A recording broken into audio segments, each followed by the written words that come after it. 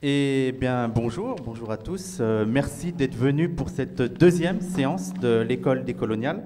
Alors, pour la deuxième séance, on va parler, comme le titre euh, l'indique, de panafricanisme, de tiers-mondisme et de réparation avec une approche décoloniale. Alors, pour en parler, j'ai d'abord euh, Mireille, Mireille Fanon Médens France, militante décoloniale et présidente de la fondation France Fanon. Hamzat Boukari Yabara, historien, militant panafricain au sein de la Ligue panafricaine Umoja, je le, prononce bien, euh, et auteur de plusieurs ouvrages, notamment euh, Africa Unite, une histoire du panafricanisme. Et enfin, euh, pour une présentation à deux, j'ai Rania Majdoub et Kossia Omid Paul, pardon, Euh, militant antiracistes et décoloniaux au sein du Parti des indigènes de la République. Alors, euh, c'est qui qui commence? C'est vous? C'est vous deux? C'est euh, Comme vous voulez. Ben, on va commencer par, par vous deux. Voilà. Merci. Comme on est prêt. Bonjour. c'est normal, la politesse. Aujourd'hui, on est le 3 novembre.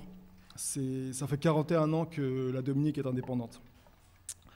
J'ouvre sur ça pour parler d'une île qui a connu l'esclavage, puis la colonisation, euh, une ségrégation raciale pendant tout le long de la période euh, esclavagiste et post-esclavagiste, pour finir par être indépendante en 78. 41 ans d'indépendance et pourtant toujours sujet de la reine, toujours exportateur d'une production agricole à destination du marché occidental, euh, bien qu'aujourd'hui la banane ait remplacé la canne, le cacao, le café et le tabac, sous pression du FMI, plongeant le pays dans une situation de dette permanente. Les derniers survivants du génocide indigène vivent euh, aujourd'hui dans des terres qu'ils n'ont jamais habitées historiquement, à part, sans autonomie politique, sans langue, sans religion, à part le christianisme.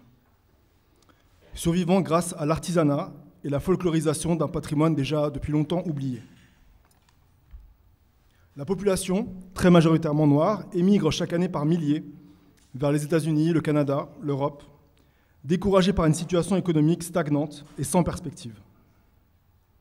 La population décroît donc au rythme des années, au gré des catastrophes climatiques et des aléas économiques.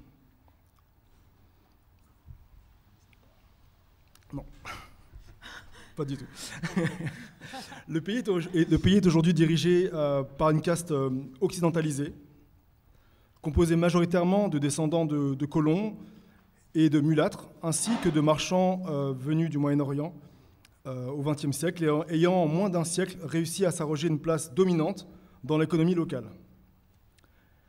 Une caste mercantiliste qui maintient la dépendance économique et alimentaire dans le seul but de s'enrichir, en continuant de partager les revenus de l'import. Une situation donc euh, au niveau de l'éducation, de la santé, des infrastructures, de la santé publique assez euh, désastreuse qui ne s'améliore pas même au bout de 41 ans. Donc racisme, euh, ségrégation, pauvreté, endettement, ces réalités font écho à des expériences de travail forcé, de déportation, d'expropriation et de spoliation massive dont leurs ancêtres, nos ancêtres ont été victimes. Ce constat sur la permanence des conséquences de l'expérience coloniale et esclavagiste est partagé par la majorité des peuples et nations du Sud global et des populations euh, non blanches du Nord. Ce sont euh, les, interpellations des, partis impliqués dans cette histoire, les revendications de la reconnaissance du caractère injuste de ces pratiques et de l'indignité des conditions de vie qui en résultent, qui en découlent, qui sont généralement appelés mouvements pour les réparations. Sous son apparente simplicité, le, thème des réparations soulève cependant un nombre important de questions que je vais tenter ici d'évoquer euh, brièvement. Euh, qu'est-ce qui doit être réparé? Euh, Il y a une certaine diversité des, crimes coloniaux commis et des préjudices subis des populations. qui doit être bénéficiaire?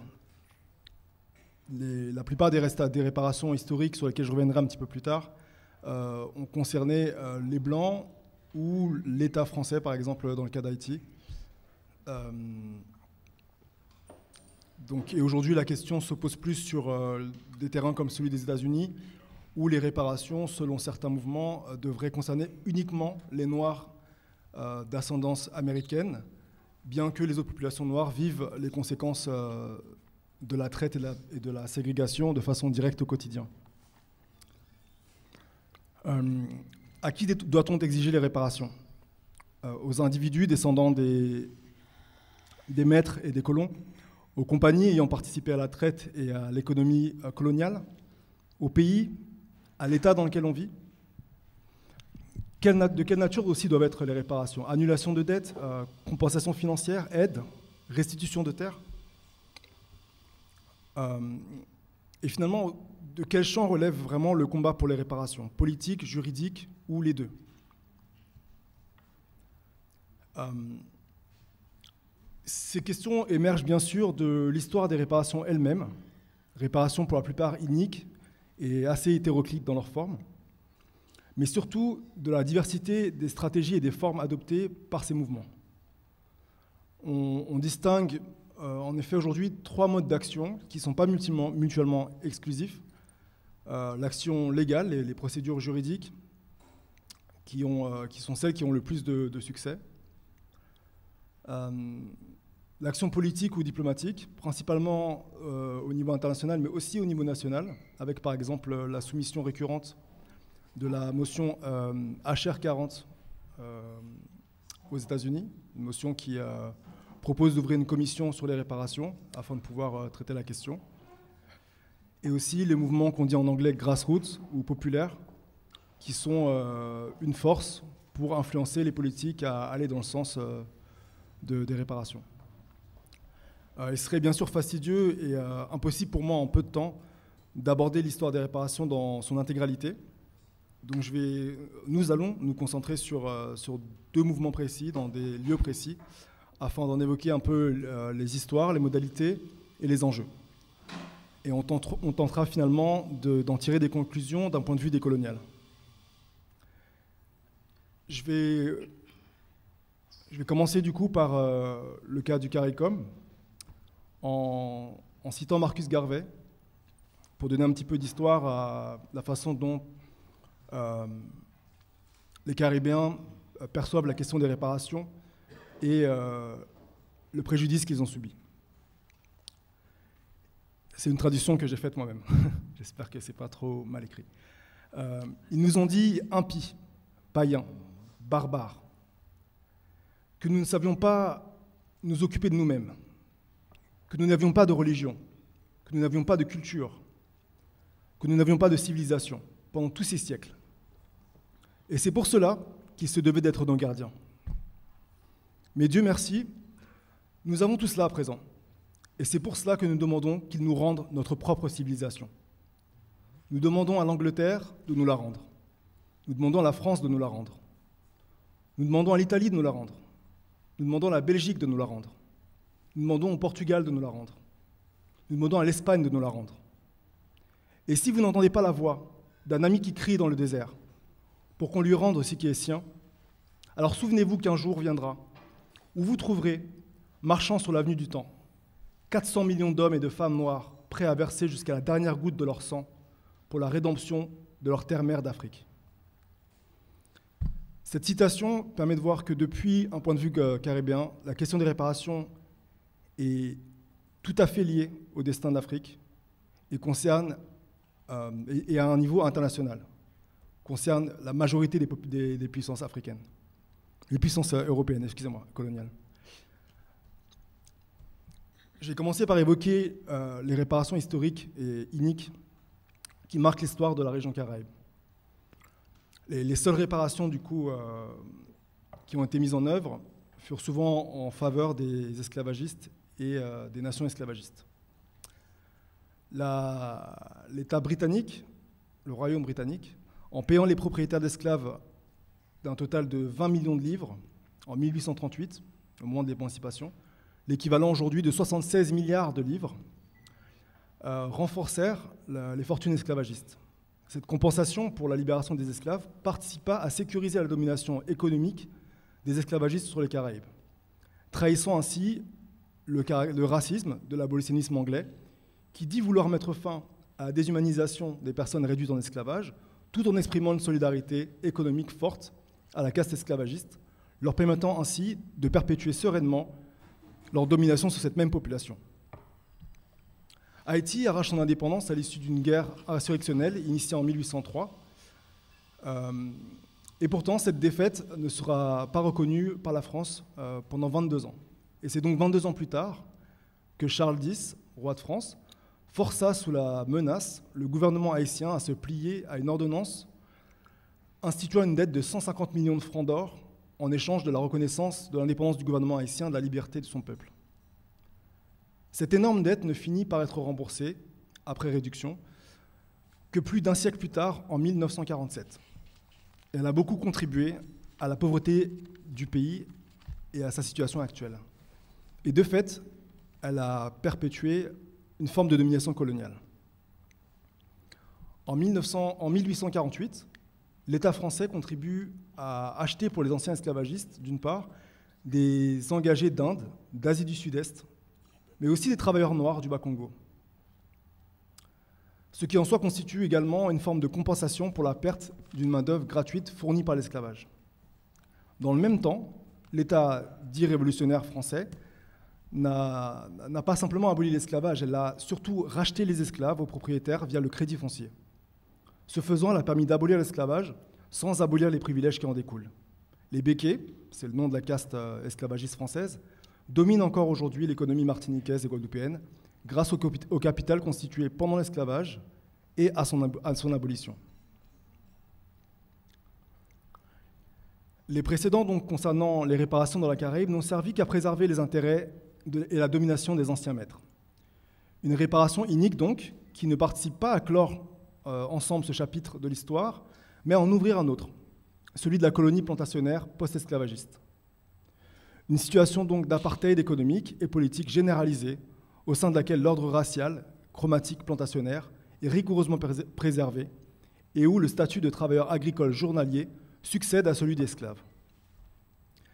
Maîtres et esclaves conservent leur statut respectif, tandis que se constitue une classe bourgeoise mulâtre comparable à ce qu'on peut trouver ailleurs dans le continent américain. Au cours des années 60 et 70, euh, comme en Afrique, les îles sont touchées par euh, le vent de l'indépendance. Et les îles donc, euh, colonisées de la Caraïbe obtiennent peu à peu leur indépendance. À l'exception des îles sous domination française, de la Martinique, de la Guadeloupe, de Saint-Vincent, des îles Vierges également, britanniques qui restent les îles Vierges britanniques, donc Tortola et, et l'archipel qui reste sous domination, sous protectorat anglais, et l'autre moitié qui reste sous domination américaine, les îles ayant été rachetées aux Danois à la fin du XIXe siècle. Et ainsi que Porto Rico qui reste euh, aujourd'hui euh, américaine. Les anciennes colonies anglaises, pour la majeure partie, sont encore sujets de la reine, même si elles ont une relative euh, indépendance politique aujourd'hui. Elles s'allient donc à Haïti ainsi qu'au Guyana en 1973 pour former le CARICOM, la communauté caribéenne, une union donc politique et économique régionale.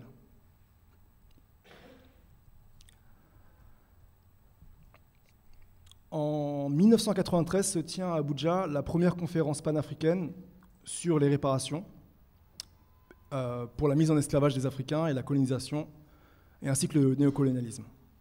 Cet événement ravivera euh, la lutte pour les réparations à un niveau mondial, au sein de la communauté noire majoritairement, euh, africaine et afro-diasporique.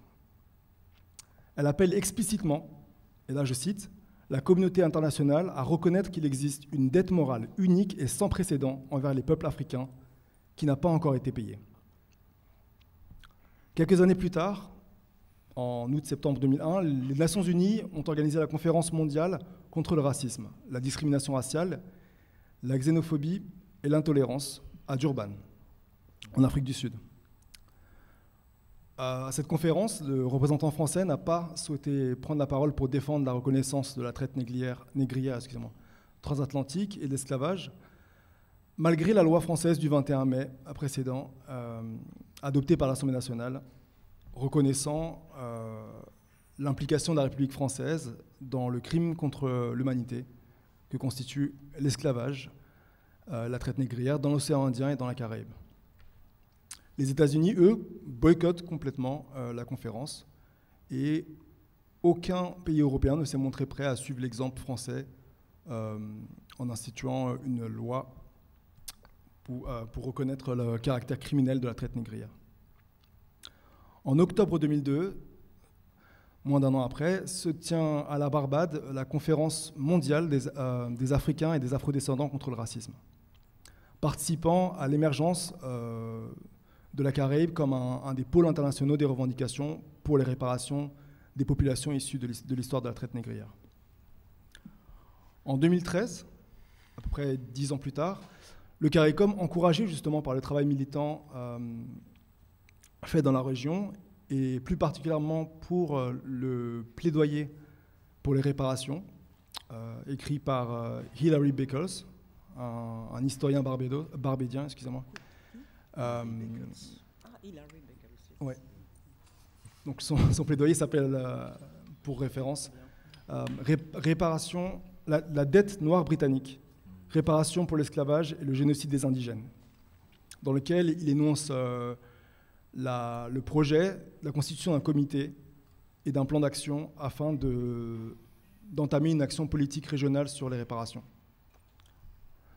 En 2014, la, non, en 2013, excusez-moi, donc la, la, commission est créée et en 2014, le plan d'action en 10 points est adopté à l'unanimité par le CARICOM. Je vais citer les 10 points parce que c'est important pour comprendre euh, la largesse du champ couvert par les, recommandations de ce plan. Là, je traduis immédiatement, donc je vais prendre quelques secondes. Euh, une, euh, une, excuse totale et complète, euh, et formelle surtout, par opposition à la déclaration de regret qui avait été prononcée à Durban par, le, par Tony Blair. La, la rapatriation comme un droit euh, euh, euh, légitime des, des, plus de, des, des, descendants de plus de 10 millions d'Africains déportés. Un programme de réhabilitation et de développement pour les peuples indigènes de la Caraïbe des institutions culturelles à travers lesquelles euh, l'histoire euh, des victimes et des descendants puisse être euh, dite et transmise. Une attention particulière portée à la crise de santé publique qui touche la Caraïbe. C'est en effet l'espace où on a le plus fort taux de maladies chroniques qui viennent de l'expérience nutritionnelle, qui découle directement de l'industrie du mercantilisme des, des castes dominantes locales et euh, des conséquences émotionnelles et psychologiques de la brutalité esclavagiste. Une éradication de l'illettrisme chez les Noirs et les peuples indigènes, euh, illettrisme qui trouve aussi ses racines historiques dans l'interdiction d'accès à l'écriture et à la lecture faite sur la plantation. Un programme sur les connaissances africaines pour euh, enseigner aux populations d'ascendance africaine euh, leur histoire et les renseigner sur leurs racines. Un programme également de réhabilitation psychologique pour la guérison et la réparation des populations afrodescendantes. Un transfert de technologie pour un accès plus équitable à la science et à la technologie mondiale et une annulation totale de la dette pour échapper euh, au, piège fiscal auquel fait face la Caraïbe. Ce plan permet de proposer des solutions pragmatiques aux conséquences directes du colonialisme, de l'esclavage et du génocide indigène, sans pour autant couvrir euh, l'ensemble des problématiques auxquelles nous sommes confrontés. Euh, il n'échappe pas non plus totalement à la logique des politiques de développement traditionnelles, telles que développées par les ONG et les pouvoirs, occidentaux. En élargissant cependant les revendications à des objectifs d'ordre plus symboliques, hérités du panafricanisme, elle se démarque des luttes purement juridiques et apolitiques, et les déborde pour affirmer la portée profondément morale et politique des réparations et de son combat. Euh, malgré un engagement avec les acteurs de la société civile et une présence internationale à l'Assemblée anglaise, devant les, Nations Unies, à des conférences sur les réparations aux États-Unis, à New York en 2015 par exemple, euh, ce plan n'a pas encore réussi à être mis en action. L'Angleterre n'a toujours pas cédé aux pressions, qui sont pour l'instant trop faibles au vu du rapport de force entre le CARICOM et le Royaume britannique. C'est un plan donc ambitieux porté par une communauté euh, qui peine à trouver des relais institutionnels forts, des solidarités euh, politiques et diplomatiques fortes en Afrique notamment, pour pouvoir imposer euh, ces revendications. Je vais passer la parole à Rania qui va nous parler du cas tunisien.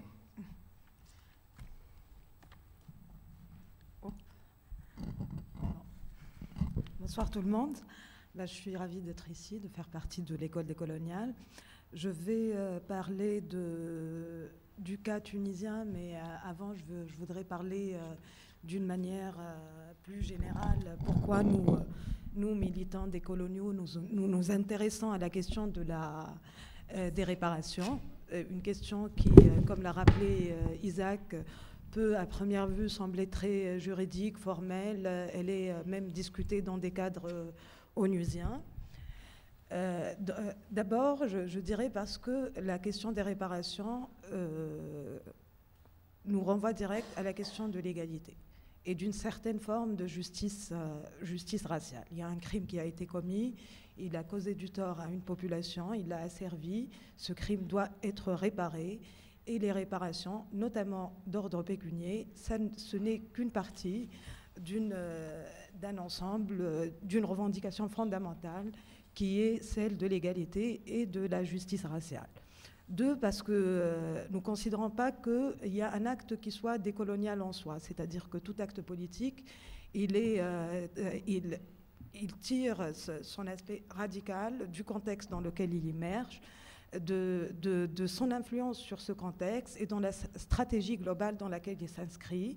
Et du coup dans le processus. C'est-à-dire que comme nous considérons que la colonisation est un processus, la décolonisation est aussi un processus qui peut être... Euh, c'est un peu ça dont parle Fanon quand il évoque euh, le clair et obscur, c'est-à-dire qu'on est, qu'on marche tout le temps dans un chemin miné où il y a des contradictions, où, on peut, où une action peut, euh, comment dire, contredire une autre, mais c'est aussi ça euh, notre chemin. C'est-à-dire qu'on n'a pas un programme, ni euh, de, programme ou de, vision de lendemain qui est toute prête.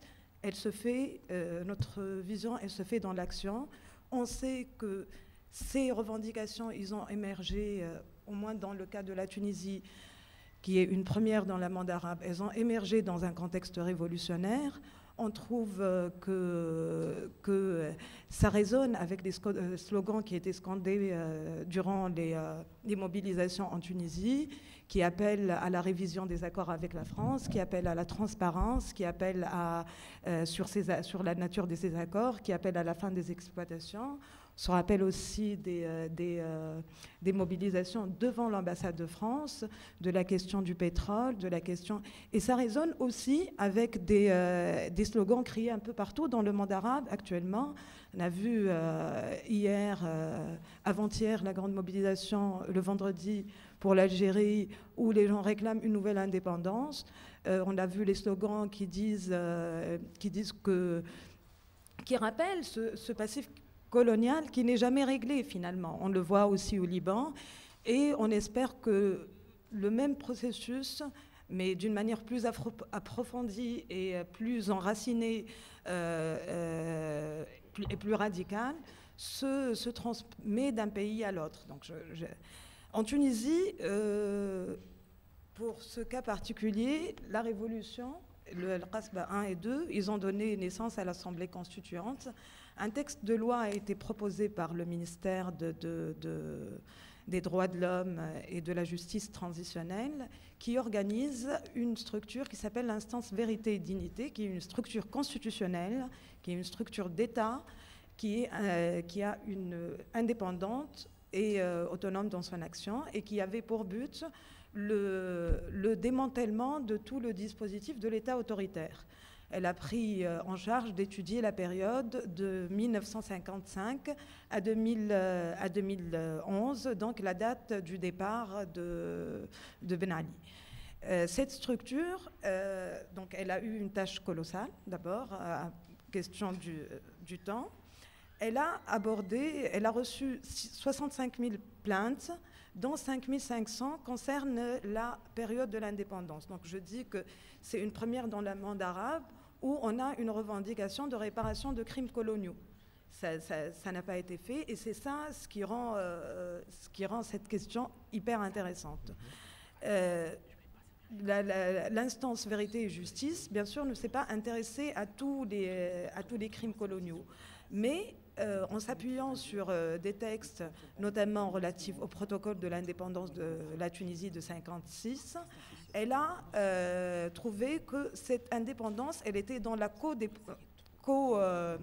co-souveraineté. C'est-à-dire que la France, elle, d'une part, elle reconnaît la Tunisie comme un pays indépendant, mais dans l'interdépendance, et elle s'est appuyée sur des accords d'autonomie interne pour garder une main mise sur un certain nombre de secteurs tels que la sécurité euh, intérieure, la sécurité extérieure et les finances. Et euh, c'est à partir de ce point que euh, l'instance vérité et justice a établi la responsabilité de la France dans, dans, un certain nombre de crimes coloniaux qui ont été commis durant cette période, donc dans 1955 à 1963. Euh, et c'est à, partir de là qu'elle a aussi fait euh, des travaux de recherche, de recoupement avec des témoignages, parce que euh, il y avait aussi des, résistants qui ont vécu, des résistants victimes qui ont vécu, bah, qui ont été concernés ou visés par ces, crimes. Et elle a envoyé le 17 juillet 2019 un mémorandum qui demande excuse et pardon à l'attention du président euh, de la République française, Emmanuel Macron. Donc, euh, bien sûr que les médias français ici n'ont pas beaucoup parlé. On peut trouver deux ou trois, articles. Et ce qui est le plus intéressant, moi je suis tombée sur un article sur une, plutôt une émission de France Culture où déjà on est dans le discours de, euh, de la banalisation de ce propos. Donc euh, c'était euh, de dire que l'historien qui a été interviewé par France Culture s'appelle Pierre Vermeren. Ça revenait sur, sur, sur la guerre de Bizerte, un des, des, crimes qui ont été... sur lesquels l'IVD, l'instance vérité et dignité, a fait, a fait des recherches. Et du coup, on était déjà, ils étaient déjà, il était déjà plutôt, dans un discours de, de discrédit, c'est-à-dire que d'abord, il commence par dire que cette instance, elle est contestée en Tunisie, que la présidente de cette instance, elle est contestée en Tunisie, que euh, parce qu'on ne trouve rien sous la dent, donc euh, on, réveille cette question de la bataille de Bizerte, que Bourguiba est le seul responsable parce qu'il savait, euh, que s'il envoyait des civils tunisiens là-bas, bah, c'est ça ce qui se trouvera. On, trouve aussi le discours donc, de la bataille de chiffres, parce que l'IVD, elle avance 5000 victimes. Euh, majoritairement des civils, et donc lui, il, conteste ce chiffre. Donc on trouve pratiquement tous les arguments classiques hein, que, euh, euh, que les Blancs, que le pouvoir blanc, et même intellectuel, universitaire et ainsi de suite, évoquent à chaque fois que cette question, cette problématique, elle est posée. C'est-à-dire que dire qu'on n'est pas les seuls responsables, ou sinon on n'est pas responsable. Hein, Bourguiba, il savait que euh, qu'ils vont être traités comme ça s'il y avait des civils. Je parle d'une période où la Tunisie, elle est déjà indépendante. Donc, euh, la dernière base militaire euh, qui a été évacuée, c'était Bizerte en 63. On appelle ça une bataille de Bizerte alors qu'il y avait des civils contre une armée organisée. et ça, c'est parmi les types, les types de violations qui ont été soulignés par l'IVD. Bien sûr, il y en a d'autres types de violations qui sont de l'ordre de, qui sont les patrouilles et les opérations qui ont été faites dans les, le sud-est euh, du pays, dans le centre du pays, dans la région de Tataouine. Il y a, et a l'affaire de Serrit Sidi sur laquelle euh, nous on dit le sang tunisien s'est mélangé avec le sang algérien, puisque c'est la France qui entre en Tunisie en évoquant un droit de poursuite euh, des, des, résistants algériens qui sont enfuis en Tunisie. Et euh, du coup, il y a un bombardement d'une école. Il y a des opérations euh, qui sont faites sur les, toutes les montagnes du centre-ouest. Des familles de Tataouine parlent qu'ils n'ont pas pu, à l'époque, enterrer leur, euh, famille, les, gens qui sont tombés victimes, parce qu'ils avaient peur de représailles. C'était des zones contrôlées et tout ça. Et jusqu'à maintenant, euh, jusqu'à récemment, ces, ossements ont été trouvés dans, euh, ces, ces, zones. Donc, pour nous aussi, parler de la réparation, c'est aussi évoquer cette histoire qui n'est pas, finie, qui, n'est pas finie puisque on, trouve, je, dis qu'il n'est pas fini à travers un certain nombre de politiques euh, qui, ont été faites au moment de la Révolution, c'est-à-dire que l'argent, tout, l'argent qui a été, euh, toutes les dettes faites Tunisie euh, à la Tunisie pour réussir sa transition, toutes les formes d'ingérence directe et indirecte. Et en même temps, euh, ça, nous permet aussi de parler de, de, de, faire vivre cette mémoire et cette histoire qui n'a jamais été écrite, d'où on trouve un certain nombre de, revendications euh, je n'ai pas parlé des crimes économiques, je vais parler des crimes économiques, mais je vais dire peut-être un seul euh, exemple. Euh, c'est que les terres tunisiennes n'étaient pas nationalisées au moment de l'indépendance, elles étaient rachetées. Et une, une, dette a été une dette a été demandée à la France, donc c'est le France qui reste la France qui reste débiteur, des débiteurs, non C'est ça? Des débiteurs Et du coup, la Tunisie paye encore les intérêts euh, de, cette dette, de cette dette. Et euh, racheter les terres, euh, c'est-à-dire qu'on va racheter des terres qui sont les nôtres et que nous, nous savons qu'ils étaient déjà obtenus d'une manière frauduleuse et, par pure escroquerie, c'est-à-dire quand on revoit la colonisation agraire en Tunisie, quand on sait que, que des terres tribales étaient considérées, ils ont obtenu le statut de terre morte pour pouvoir, euh, pour, euh, pour, que la, pour que enfin les colons français arrivent à déposséder les populations de leurs terres, on sait après qu'on a aussi dû payer pour reprendre euh, ces terres. Donc c'est comme il a souligné Isaac, la question des réparations, euh, bah, ça se trouve, on n'était pas les premiers à la poser, elles étaient posées déjà par les colonisateurs. Euh, je me rappelle là la phrase de, de, Tocqueville, un peu euh, ce que je me rappelle de cette phrase, c'est sa manière de dire si les esclaves avaient le droit d'être libres, les esclavagistes ont aussi le droit de ne pas être ruinés. Et, donc, nous, on était en plein dedans. Voilà, vous colonisez, vous esclavagisez, vous pillez des terres, et après, euh, on vous paye. On vous paye et euh, on reste, euh, on reste très bah, dépendant. C'est ça aussi le nœud, c'est ce rapport de dépendance qui est maintenu à travers toutes ces dettes, à travers toutes, toutes ces dettes. Bon. je, pars un peu dans tous les sens, mais c'est pas grave.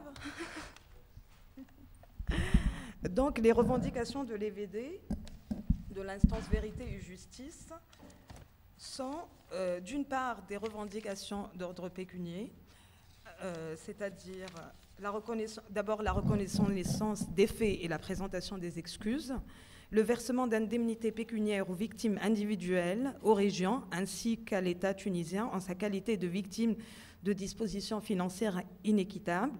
Euh, je veux dire qu'il y, a eu des plaintes individuelles qui étaient euh, déposées à l'IVD, mais il y a aussi eu des, des plaintes collectives par région. La restitution des archives tunisiennes à la Tunisie en, de 1981 à 1963 c'est-à-dire que pour la bataille de Bizerte, par exemple, on n'a pas euh, eu accès à des archives qui n'étaient pas des archives ouvertes, qui sont encore sur... Euh, et l'annulation de la dette bilatérale de la Tunisie étant donné qu'il s'agit d'une dette illégitime. Donc euh, nous voyons que dans, ces revendications, il y a celles qui relèvent de,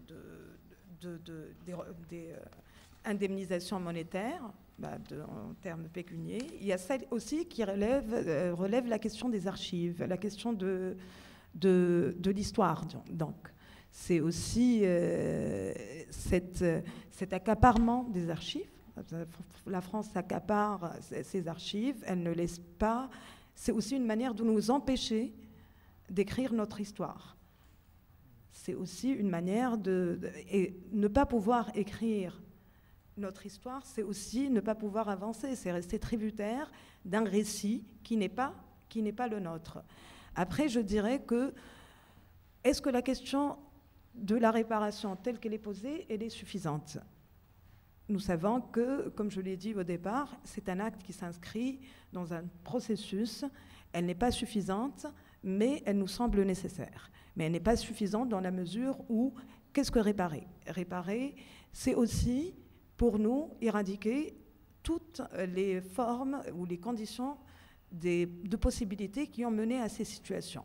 Ça, ça n'a pas été fait et ça, il est vraiment tributaire des rapports de force qu'on peut créer en tant que militant, en tant que militant des coloniaux, en tant que militant tiers-mondiste, parce que au-delà du pillage, des crimes contre les personnes, des meurtres, il y a quelque chose qui a rendu tout cela possible. C'est euh, la confiscation de l'humanité ou de la définition de l'humanité par les Blancs. C'est-à-dire, on, vit dans un monde qui est divisé par une ligne de couleurs où il y a euh, ceux qui méritent la définition d'être humain et ceux qui ne la méritent pas. Ces conditions de possibilité sont encore là, sont encore présentes. On peut voir ce racisme euh, s'exprimer des fois à faible intensité, des fois à forte intensité. C'est-à-dire que ce passé est colonial et esclavagiste, il n'est pas simplement derrière nous, puisque ce qu'il a fait émerger est toujours là. Et, euh, c'est là où je pense que euh, la, la, question de réparation ne doit pas être considérée comme une finalité, mais euh, comme une lutte nécessaire, importante, pour permettre aussi des conditions de, pour permettre une certaine autonomie. Euh, parce que, comme je l'ai dit, par exemple, la revendication de l'annulation de la dette peut permettre à certains pays de respirer, simplement. Hein, de, pouvoir envisager d'autres perspectives que, que, ce nœud, euh, que cette corde autour de leur cou qu'est la dette, et, euh, en même temps, pour renforcer, pour donner plus de radicalité à la question des réparations, il nous faut aussi réfléchir à des fronts politiques qui pèsent et qui peuvent approfondir ces processus. Et merci.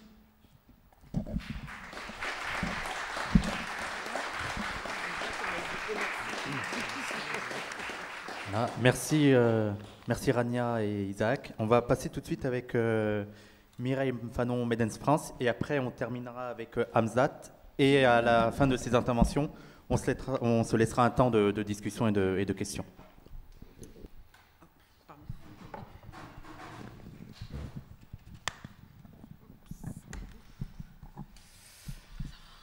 bonjour, vous m'entendez? C'est bon? C'est bon? Ça va? Peu plus fort. Un peu plus fort, je pense. C'est bon là? Yes Bon, je vais en fait euh, continuer euh, à parler des réparations, puisque c'était euh, le sujet sur lequel je devais intervenir. Mais contrairement à Isaac et Rania, je ne vais pas faire un détour par la Dominique ou par la Tunisie. Mais en tout cas, merci de l'avoir fait. Mais par notre histoire, notre propre histoire, puisqu'il se trouve que je suis par ailleurs euh, d'une famille de la Martinique, donc directement affectée par euh, les crimes contre l'humanité qui ont été commis au moment de la colonisation et de la mise en esclavage. Donc je vais d'abord faire un petit détour historique parce que ça permet un peu de comprendre comment tout ça s'est organisé. Et dès 1626, Richelieu, en instaurant la charte de 1626 qui légalisa la colonisation et l'esclavage, avait donné ordre à un illustre inconnu qui s'appelle Pierre Belin d'Esnambuc et Urbain du Roisset de fonder la Compagnie des îles de Saint-Christophe, société de droit privé afin d'établir une colonie dans les Antilles de l'Amérique. Donc c'est très large, les Antilles de l'Amérique, c'est la plupart de toutes les îles euh, dont a parlé aussi euh, Isaac.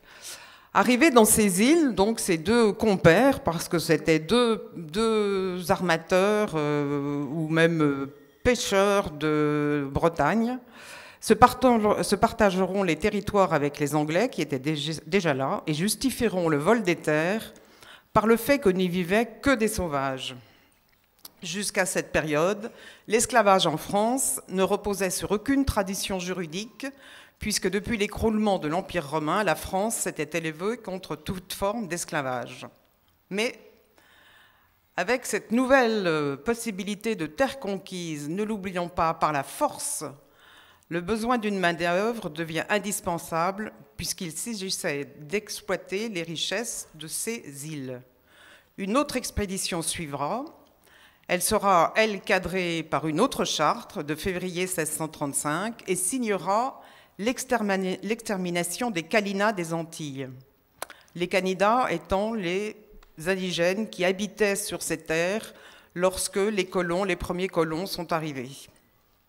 Alors on les appelle Kalina, euh, Galinéo aussi, Indiens Caraïbes, Arawak.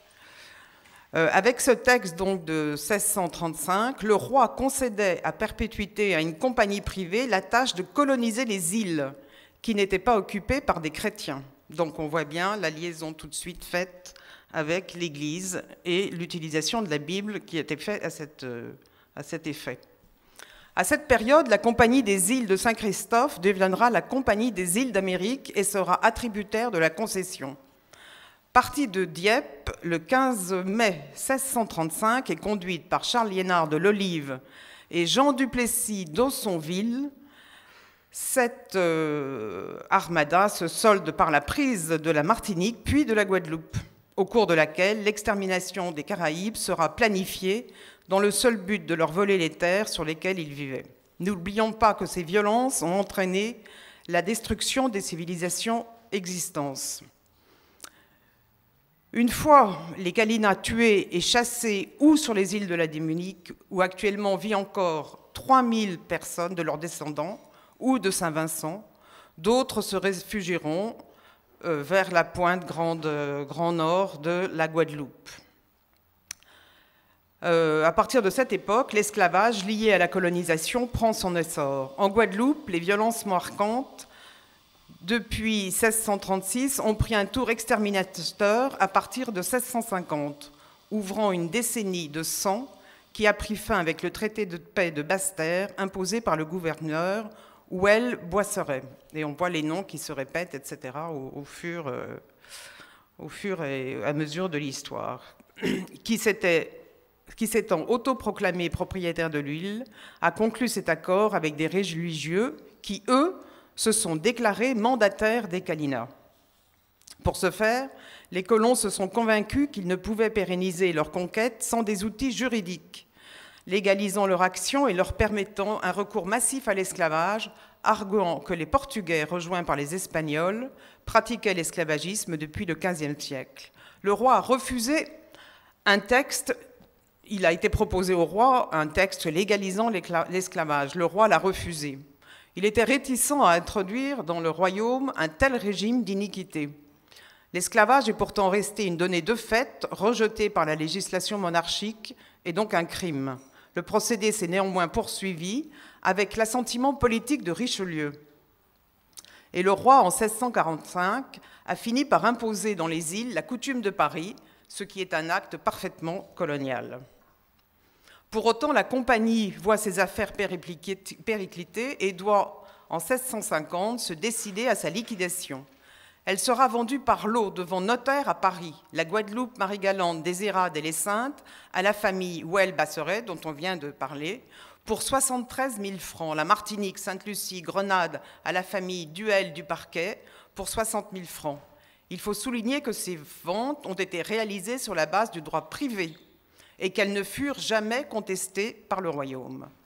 Par l'arrêt du Conseil d'État du 17 avril 1664, le royaume, en demandant à la, compagnie et à ses ayants droit de rapporter tous leurs titres de concession ou de propriété pour être remboursés, entame une nouvelle période de colonisation. En effet, le roi reproche aux propriétaires de droits privés de ne pas faire suffisamment profiter la France des richesses de ces îles une nouvelle charte sera adoptée qui verra la naissance de la Compagnie des Indes occidentales avec une, mission étendue à la Guyane, l'Amérique du Nord, le Canada, Terre-Neuve, la côte de l'Afrique depuis le Cap Vert jusqu'au cap de Bonne-Espérance. Mais le royaume n'en a pas fini de revenir sur ses décisions. Par l'édit de décembre 1674, il révoque la Compagnie des Indes occidentales et s'attribue la pleine propriété des différentes îles après la validation par le roi des ventes antérieures et l'inclusion des biens dans le domaine de la couronne, la Guadeloupe et la Martinique deviennent colonies du royaume. Et à partir de cette époque, dès 1678, il y aura plus de 27 000 esclaves dans les îles des Antilles françaises. On peut ainsi dire, sans se tromper, que toutes les décisions prises au cours de la traite transatlantique négrière, de la mise en esclavage et de la colonisation ont toujours été prises en dehors de tout cadre de la loi commune.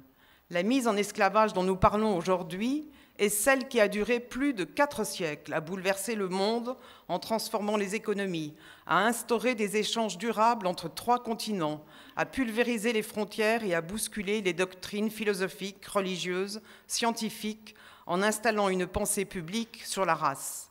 Cela a imprégné la littérature, les arts et par-dessus tout les visions du monde. Cet esclavage, pour exister et pour qu'il soit légitimé, a eu besoin que le droit subisse des variations, des nuances, mais surtout des flétrissures, des contradictions et des aberrations, dont l'une des plus importantes est donnée par l'article 44 de l'édit du roi de 1685 qui considérait le MIC en esclavage non comme sujet de droit doté d'une personnalité juridique, mais comme objet de droit meuble. Je cite Déclarons les esclaves être meubles et, commis, et comme tels entrer dans la communauté, n'avoir point de suite par hypothèque, se partager également entre les cohéritiers sans préciput et droit d'aînesse, n'être sujet aux douaires coutumiers, aux retraits féodal et lignagés, aux droits féodaux, etc. Le Code noir, il s'agit d'un article du Code noir. Le Code noir, inspiré par Colbert et d'anciens gouverneurs, a servi de règlement pour le gouvernement et l'administration de justice et la police des îles françaises de l'Amérique, et pour la discipline et le commerce des nègres et esclaves dans le dit pays. La gestion des esclaves sera aussi abordée dans l'article 39 des lettres patentes de 1723 de Louis XV. Il ne sera pas abrogé avec la Révolution, le propriétaire étant toujours le droit de propriété sur le mise en esclavage, l'usus, le fructus et l'abusus. Le mise en esclavage n'a donc toujours pas, même après la Révolution, aucune personnalité juridique. La nature de la mise en esclavage relève d'un système organisé par les États, adoubé et régulé par l'Église, en un mot, contrôlé et évalué. Pour que le statut du mise en esclavage évolue, il faudra attendre bien après 1848. Si le Code civil est entré en vigueur en Guadeloupe le 9 novembre 1805, soit un an et demi après son introduction dans la dite métropole, il faut, noter, que seuls les Blancs sont concernés. Pourtant, l'article 528 du Code civil de 1804 précise que, je cite, sont meubles par leur nature les corps qui peuvent se transporter d'un lieu à un autre, comme les animaux, ou qui ne peuvent changer de place que sous l'effet d'une force étrangère. Fin de citation. Donc, ça ne devrait pas s'appliquer aux mis en esclavage, qui sont des humains. Au fil des décennies, il y aura bien quelques évolutions. Ainsi, les libres de couleur, dès la monarchie de juillet 1830, obtiennent l'égalité juridique qui s'étendra aux nouveaux libres après la deuxième abolition de l'esclavage en 1848. Élargissement qui ne va toutefois pas sans hésitation, contradiction et retour en arrière. Avec l'abolition de 1848, certains se demandent ce que deviendront les mises en esclavage alors qu'ils sont démunis des tout. Ils seront bientôt libres. La justice qui leur ôte les fers et leur octroie la citoyenneté ne leur doit-elle pas réparation? Réparation car le système esclavagiste a porté atteinte au principe d'égalité présent dans les articles 1 et 6 de la Déclaration des droits de l'homme et des citoyens de 1789 alors que les mises en esclavage à cette période étaient dépourvues, je l'ai déjà dit, de personnalité juridique. Ce principe d'égalité a été une fois encore remis en cause avec le décret d'abolition du 27 avril 1848 par son article 5, introduisant une compensation pour les propriétaires, renforcée par le deuxième décret un an plus tard, 30 avril 1849, indiquant le montant exact de cette compensation par ces deux décrets, la personne se trouve, après l'abolition, encore réifiée, ce qui conforte la violation du principe d'égalité.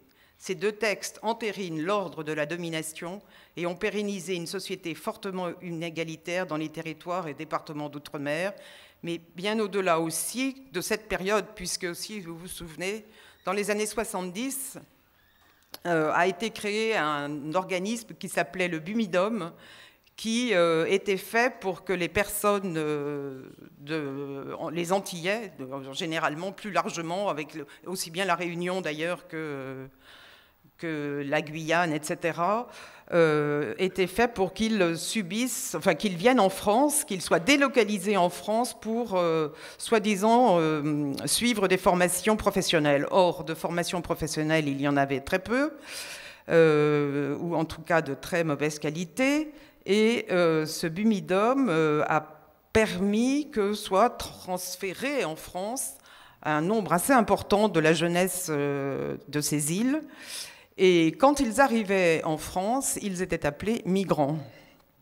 Donc je vous laisse faire les liens avec la situation des migrants, comment donc étaient considérés les Français, pourtant, Français de ces îles, euh, dans les années 70, puisque c'est en 70, et il y avait euh, un lieu d'accueil près de Bordeaux, assez célèbre aussi. Euh, voilà.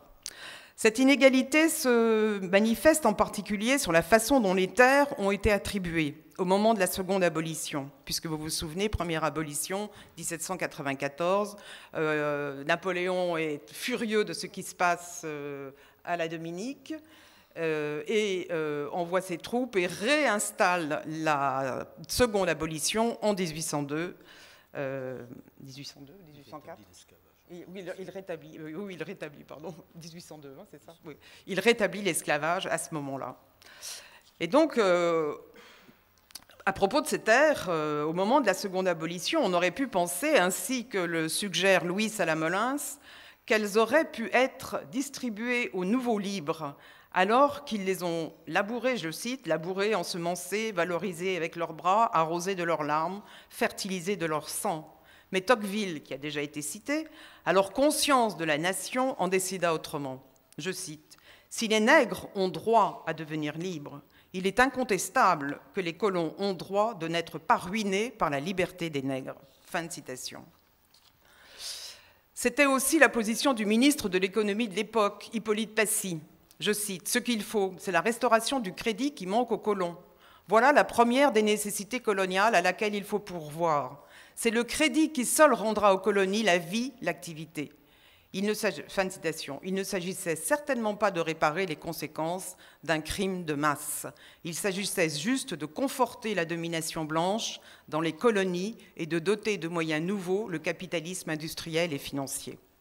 Il faudra attendre plusieurs siècles pour qu'advienne une tentative de réparation. En 2001, la loi Taubira qualifie la traite et l'esclavage de crimes contre l'humanité. Normalement, du coup, crime contre l'humanité dit imprescriptibilité.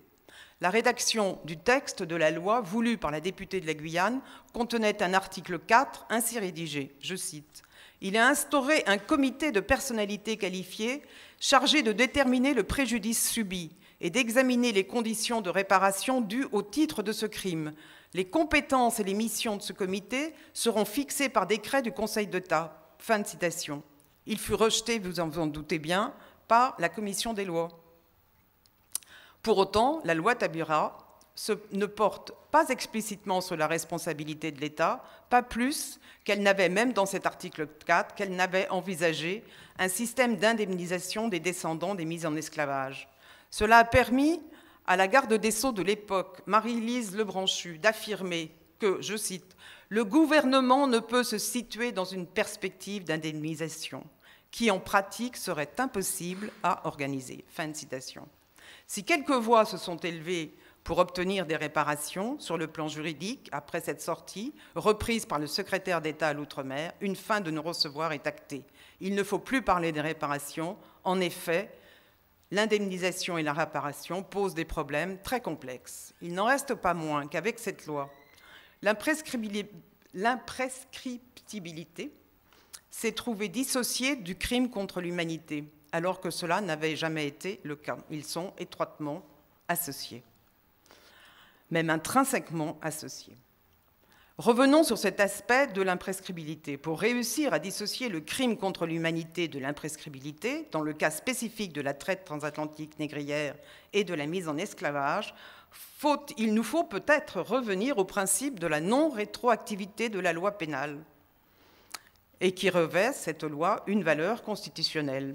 Il résulte en effet du principe de l'égalité, l'égalité en un seul mot, et de, et de stricte nécessité des peines. Et ça se trouve dans l'article 8 de la Déclaration des droits de l'homme et du citoyen, qui dispose que, je cite, Nul ne peut être puni qu'en vertu d'une loi établie et promulguée antérieurement au délit et légalement appliquée. Fin de citation. Or, aucune loi, que nous sachions, n'est venu légaliser la mise en accusation de ceux qui ont commis ces crimes contre l'humanité ou les ont laissés commettre, et on peut même rajouter le crime de génocide à l'égard des peuples indigènes. Cette idée de non-réactivité, de non-rétroactivité a même été introduite dans le Code civil en son article 2, stipulant, je cite, que la loi ne dispose que pour l'avenir. Elle n'a point d'effet rétroactif. Elle fut ainsi défendu par Jean-Étienne Marie Portalis, l'un des rédacteurs euh, du Code civil en 1803. En 1803. Ce qu'il dit est assez intéressant, je cite. C'est un principe général que les lois n'ont point d'effet rétroactif. L'office des lois est de régler l'avenir. Le passé n'est plus en leur pouvoir. Partout où la rétroactivité des lois serait admise, non seulement la sûreté n'existerait plus, mais son nombre même que deviendrait donc la liberté civile si le citoyen pouvait craindre qu'après coup, il serait exposé au danger d'être recherché dans ses actions ou troublé dans ses droits acquis par une loi postérieure? Loin de nous l'idée de ces lois à deux faces, etc. Euh, etc. Il, il ne faut point exiger que les hommes soient avant la loi ce qu'ils ne doivent devenir que par elle. Fin de citation. C'est un joli morceau pour justifier les crimes contre l'humanité commis durant plus de trois siècles. Si pour, Tocqueville, les réparations sont absurdes, elles sont hors sujet pour la commission des lois en 2001, très, enfin entre 1998 et 2001, hein, pendant toutes les discussions, très complexes ou pratiquement impossibles pour deux ministres du gouvernement socialiste. C'est selon Louis Salamolins plus qu'il n'en faut pour fonder et établir je cite, une tradition historique revenant à refuser toute réparation. Fin de citation. En commémorant l'esclavage des Noirs instauré par la monarchie, la Ve République le condamne et le renvoie à la Deuxième République, qu'il a abolie. Pour autant, le crime est toujours en suspens. Il suffit de regarder ce que dit euh, et de réfléchir un peu à ce que dit Eric David, qui est un juriste en droit international. Il dit qu'en ce qui concerne des événements de cette importance et de ce crime, de la nature de ces crimes, euh, il n'y a pas de clôture pour l'événement. Il dure encore, c'est pour toujours, ici et maintenant, et c'est encore notre contemporain. La situation, fin de citation, la situation des personnes d'ascendance africaine en est une preuve palpable. Ce qu'a confirmé, nous la connaissons, nous avons analysé cela euh, maintes et maintes fois, et il n'est qu'à euh, discuter avec les personnes d'ascendance africaine pour voir quelle est la réalité de leur vie. C'est en tout cas ce qu'a confirmé lors d'un colloque euh, Pierre Boulle de l'université McGill. Et ce colloque était sur esclavage, traite et autres formes d'asservissement et d'exploitation. Je cite, Les nouveaux citoyens des anciennes colonies esclavagistes recevront un statut proche de celui des indigènes des nouvelles colonies africaines. Il ajoute qu'on peut penser que le racisme soi-disant scientifique développé au cours du XIXe siècle sur la base du préjugé de couleur, établi dans les discours, les normes juridiques et les mentalités, n'est pas étranger à cette situation. Cela est d'autant plus vrai que l'article 5 du décret de 1848 est toujours en vigueur au moment où euh, je vous parle et au moment aussi où des actions juridiques ont été engagées contre l'État français, ce qui constitue de facto une reconnaissance par l'État de sa responsabilité dans la mise en esclavage et dans la colonisation. À la suite d'un article paru dans Politis en Guadeloupe, les fils d'esclaves luttent pour leur terre, le LKP, l'UGTG, l'Union générale des travailleurs guadeloupéens, le collectif Cause est un collectif euh, d'agriculteurs, et la Fondation Franz Fanon ont déposé de, de déposer plainte. L'objectif étant que l'État se décide enfin à remettre en état les graves dégâts causés d'une part par la conquête violente de la Guadeloupe, sur laquelle, au moment de l'arrivée des premiers colons, s'exerçait la souveraineté du peuple kalina, et d'autre part par les actes de vente de terre n'ayant jamais appartenu aux colons, et par le rattachement au domaine de la couronne ou au domaine de la nation des îles devenues aujourd'hui départements d'outre-mer, possession qui est toujours illégale et illégitime. Mais ces terres, à qui appartiennent-elles réellement? Alors qu'elles sont le résultat d'un recel, d'un vol, dont l'origine est un crime contre l'humanité, reposant sur l'extermination des Kalinas et sur la mise en esclavage de milliers de femmes, d'enfants et d'hommes. Donc à qui est cette terre? Rappelons que lors de la conférence de Durban, ça a été aussi cité, nous, nous avons des recoupements, mais ce n'est pas grave.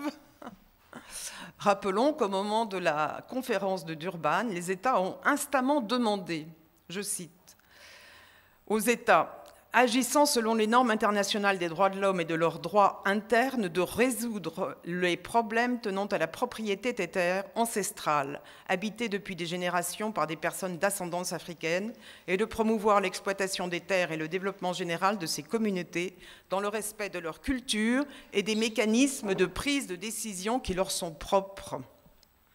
Alors on peut voir certains États qui ont... Euh, mis en, sur place des plans d'action, et entre autres, il y en a un euh, qui est la Colombie, qui a un plan d'action élaboré autour de cette restitution des terres. Il y a aussi le Brésil, mais pour autant, les latifondistes de ces pays s'arrogent le droit de venir brûler les terres et d'expulser les personnes à qui l'État a donné. Et du coup, l'État, aussi bien colombien que, pardon, brésilien, euh, ne remet pas en place euh, des procédures juridiques à l'égard de ces latifundis pour que les personnes concernées et expulsées retrouvent leur terre. Donc, en ce qui revenons sur euh, ce que ce collectif d'organisation donc a fait, on a ce collectif d'organisation dont j'ai parlé juste précédemment a déposé une question prioritaire de constitutionnalité portant sur l'article 5 du décret du 27 avril 1848. Pourquoi? Parce que cet article 5 précise que l'indemnisation est réservée aux anciens maîtres et sur le décret de loi du 30 avril 1849, euh, cet article, ce, décret définit l'indemnisation qui est due au, maître selon le principe posé par l'article 5 de 1848. Cette loi, ces deux décrets respectent-ils le principe d'égalité? Non. Le principe de sauvegarde de la dignité de la personne humaine? Non. Le droit de résistance à l'oppression? Non. Le droit à un recours effectif? Non. Le principe de responsabilité Non. Le droit de la propriété Non. Et le principe du développement durable Non plus. Mais pourquoi ce principe d'égalité n'a-t-il pas, été respecté? À ce jour, la propriété est toujours reconnue aux descendants des esclavagistes et on demande encore aux descendants des populations victimes de ces crimes de payer un fermage pour cultiver la terre du peuple Kalina. On peut dire que l'acteur économique a été et est toujours privé de ses outils de production. Le droit est bafoué et à ce jour encore, les effets demeurent l'économie de la Guadeloupe, mais aussi de la Réunion, de la Guyane, de la Martinique, restant basée sur un modèle colonial et post-colonial. L'État français a pleine conscience de cette perpétuation du crime, qu'il maintient, mais il se contente, pour donner le change, de mener une politique illusoire, ignorant les réalités juridiques et sociales de ces territoires et départements. Ainsi, à la suite de la QPC portant sur la constitutionnalité du décret de 49, un amendement d'abrogation dans le cadre de la loi sur l'égalité et la citoyenneté, a été adopté dans un but très clair. C'était proposé par Victorin Lurel, qui est ancien député aujourd'hui et qui a été ministre de l'Outre-mer.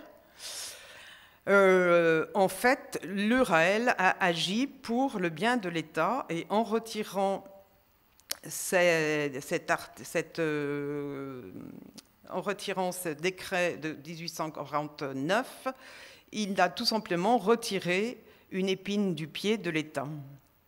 Mais ce que cela prouve, c'est que la façon dont nous étions adressés à la justice française euh, était une bonne façon, mais que nous devons continuer. En définitive, pourquoi s'obstiner à demander des réparations? De quelle nature doivent-elles être? À quoi doivent-elles être destinées? Individuelles, collectives? Pour réparer qui et quoi? Pourquoi tant de refus étatiques face aux demandes de réparation? Réparer serait avouer que l'on a laissé la politique de la race organiser la hiérarchisation. Organiser la politique de la race, euh, pardon, je reprends. Réparer serait avouer que l'on a laissé la politique de la race organiser la hiérarchisation de l'humanité, alors que les États anciennement esclavagistes assurent être antiracistes, combattre le racisme et viser l'égalité et la dignité pour chacun de ses citoyens. Derrière la question des réparations, comme derrière celle du colonialisme, il y a la peur de voir le colonisé racisé devenir un interrogateur et ou un engin de transformation sociale, ce qui est très loin de ce que les dominants attendent des damnés. Une fois encore, Franz Fanon avait bien souligné que dans, je cite, décolonisation, il y a une exigence d'une remise en cause intégrale de la question coloniale. Sa définition peut, si on veut la décrire avec précision, tenir dans la phrase bien connue Les derniers seront les premiers. Fin de citation. L'entreprise de colonisation et de mise en esclavage depuis 1492 a conduit, ainsi que le souligne Nelson Maldonado Torres, à l'une des plus grandes catastrophes démographiques, sinon la plus grande que le monde ait jamais connue, mais aussi métaphysique, car a aussi servi à justifier l'inégalité pour raison de pigmentation de peau. Avec cette approche de l'humain, c'est tout l'édifice de sa perception qui s'est trouvé questionné, tant sur le plan épistémologique qu'ontologique. Les découvertes ont impliqué et je ne puis qu'adhérer à la position de Nelson Maldonado Torres, un effondrement de l'édifice de l'intersubjectivité et de l'altérité et une déformation du sens de l'humanité. Cette catastrophe métaphysique est au cœur de la transformation de l'épistémologie, de l'ontologie et de l'éthique et fait de facto partie des fondements de la modernité ou de la colonialité et des sciences européennes modernes. Les effets de cette catastrophe liés à ce que le monde blanc européen a imposé comme civilisation sont encore visibles aujourd'hui, car elle a permis de réaliser sans aucune justification légale les pires actions contre les peuples non chrétiens vivant hors du royaume. Mais de plus, ces modes de comportement utilisés en temps de guerre ont conduit à la naturalisation de la guerre. Depuis la violence extrême et la violence constante de bas niveau, coexistent et sont dirigés contre les populations colonisées et leurs descendants. De façon similaire, si la décolonisation se réfère au moment historique où les sujets coloniaux se sont levés contre d'anciens empires et ont revendiqué leur indépendance, les réparations ne pourraient-elles pas être l'expression de la décolonialité à partir du moment où elles se réfèrent à une lutte contre la logique de la colonialité et ses effets symboliques, épistémiques et matériels visibles sur les plans politiques, social, économiques, culturels Prendre en charge un processus des réparations ne revient-il pas à engager les damnés à s'éloigner des impératifs et des normes imposées? Les réparations, parce qu'elles interrogent, ne pourraient-elles pas permettre de mettre en place des processus pour se séparer individuellement, mais surtout collectivement, de la colonialité? Les réparations, processus d'émancipation, ne pourraient-elles pas avoir comme objectif de faire renaître le désir de l'individu, de toucher l'eau, de sentir l'eau, de se découvrir, comme le précise Franz Fanon. N'est-ce pas n'est-ce pas ce à quoi engageait Steve Biko lorsqu'il définissait la nécessité de travailler à la consolidation d'une conscience noire, comme, je cite, une attitude de l'esprit et un mode de vie, l'appel le plus positif à émaner du monde noir depuis longtemps. Fin de citation. Un processus de réparation en questionnant l'inégalité structurelle dont sont victimes les descendants des mises en esclavage, mais aussi tous ceux issus des territoires colonisés par la République, ne devrait-il pas s'emparer de l'origine et de la construction du principe d'égalité pour que l'humain s'approprie les rapports entre humanité, pour qu'il puisse préparer sa rencontre avec l'autre? Il va nous falloir, en tant que damnés, émerger, devenir sujet de questionnement, de parole, d'écriture et de création et de transformation cela est pratiquement impossible dans, dans ce monde moderne colonial. Alors à nous d'ouvrir des brèches, de faire tomber les murs et à forcer ceux qui s'inscrivent dans la démarche d'un autre monde possible, que ce monde à venir ne peut se construire sans les damnés, mais ils ne peuvent marcher et qu'ils ne peuvent marcher seuls. Les réactions du monde dominant face à l'émergence des damnés est d'écarter l'anomalie en les rejetant, les minimisant, les humiliant ou les exotisant.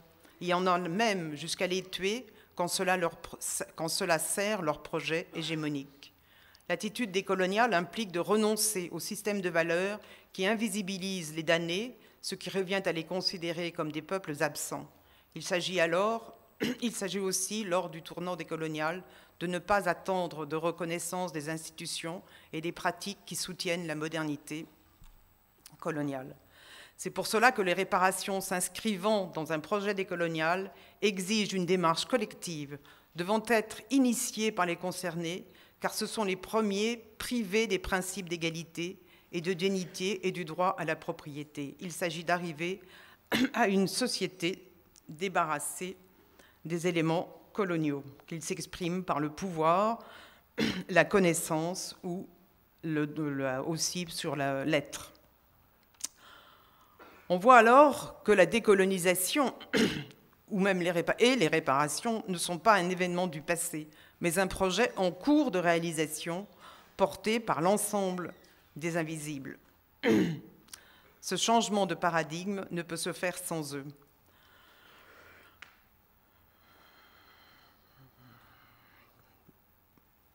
Juste ce que je vais rajouter, c'est qu'en fait, ce principe d'égalité, il est euh, questionné, il est remis en cause dans des instruments que nous connaissons tous, euh, puisqu'à l'époque où euh, le principe d'égalité a été instauré, il a été instauré dans deux endroits, en 1777 avec la déclaration d'indépendance des États-Unis et en 1789 avec celle de la Déclaration des droits de l'homme et du citoyen.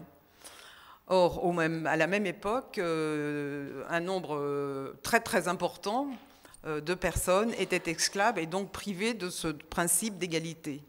Or, au moment de la seconde abolition, plutôt que de revoir cette déclaration universelle des droits de l'homme, on a fait comme si tout cela devenait, était absolument évident et on a passé l'éponge sur ce crime contre l'humanité et de génocide. Euh, et ces deux instruments ont quelque chose d'assez préoccupant, c'est qu'ils ont servi de modèle pour la Déclaration universelle des droits de l'homme de 1946. Euh, et donc, euh, on doit, d'un point de vue décolonial, on doit aussi questionner ces instruments et comprendre que la fabrication de ces instruments vise une fois de plus à invisibiliser les personnes qui ont été mises en esclavage et leurs descendants, mais aussi à euh, nier, ça donne une opportunité en quelque sorte de nier le crime commis et de le passer euh, pour, euh, comment on dit, pour effet, perte, et profit voilà, donc c'est aussi quelque chose qui est à, étudier et à dans l'esprit. C'est pour ça que je pense que la question des réparations, sans se focaliser uniquement sur euh, les aspects euh, juridiques, euh, doit quand même s'emparer de ce domaine-là, parce qu'on voit très bien que c'est au début d'une façon de ne pas tenir compte de, lois qui étaient appliquées ici, qui étaient valables dans ce qu'on appelle la métropole. donc on a réalisé, on a mis sur place un régime d'exception pour euh, toutes les îles, euh, les îles euh, où étaient les mises en esclavage. Et c'est pas seulement en, France, c'est aussi valable pour le Portugal, l'Espagne, les, les, les, pays qu'a énuméré Isaac. Donc cette question juridique est éminemment intéressante et nous permet d'avoir une ouverture qui permet de rebondir sur euh, les réparations comme processus euh, d'émancipation. Je vous remercie.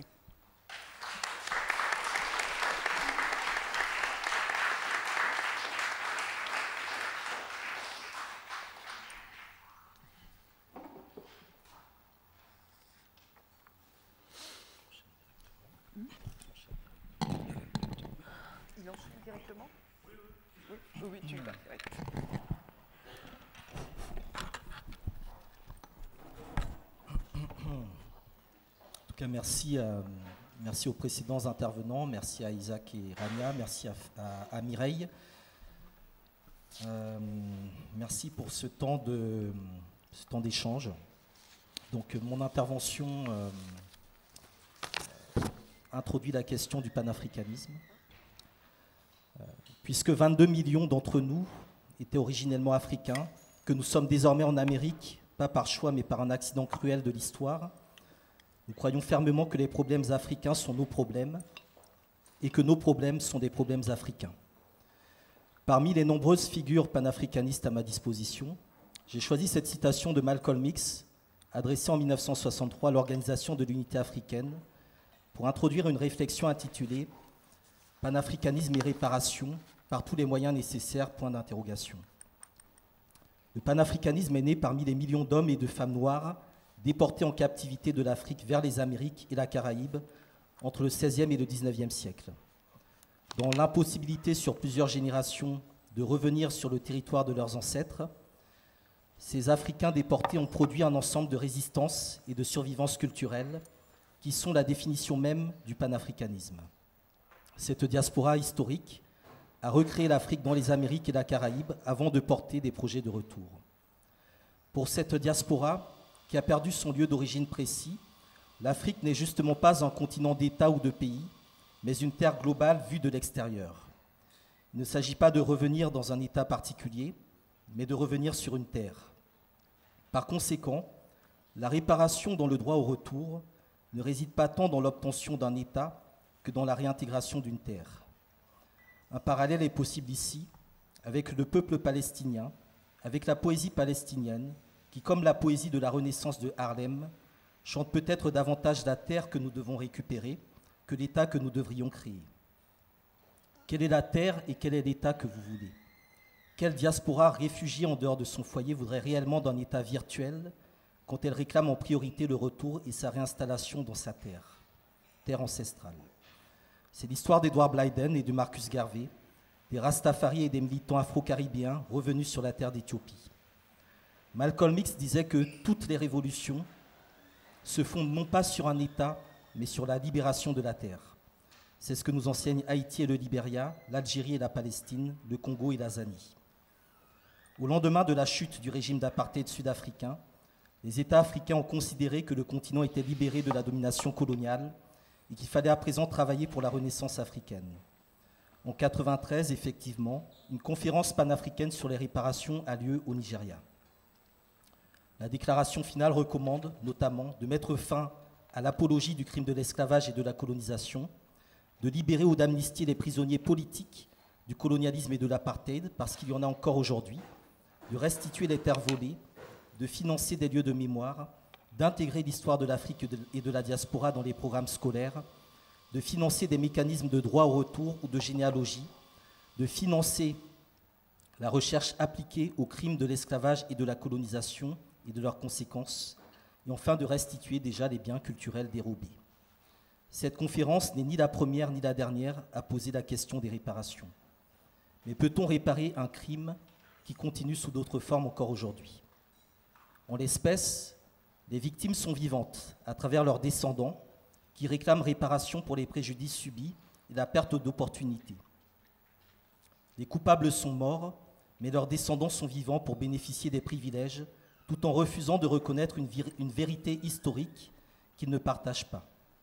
C'est ainsi que l'un des privilèges est le contrôle de l'histoire. L'Europe tente de se dédouaner du crime de la traite et de l'esclavage en affirmant que les Arabes ont fait pire et que par-dessus tout des Africains ont vendu d'autres Africains. Et donc finalement tout le monde a vendu tout le monde. C'est une manière très cynique de lier l'impunité à la réconciliation dans une époque où nous savons que tous les descendants sont dans l'obligation de cohabiter. Les réparations servent à plusieurs choses.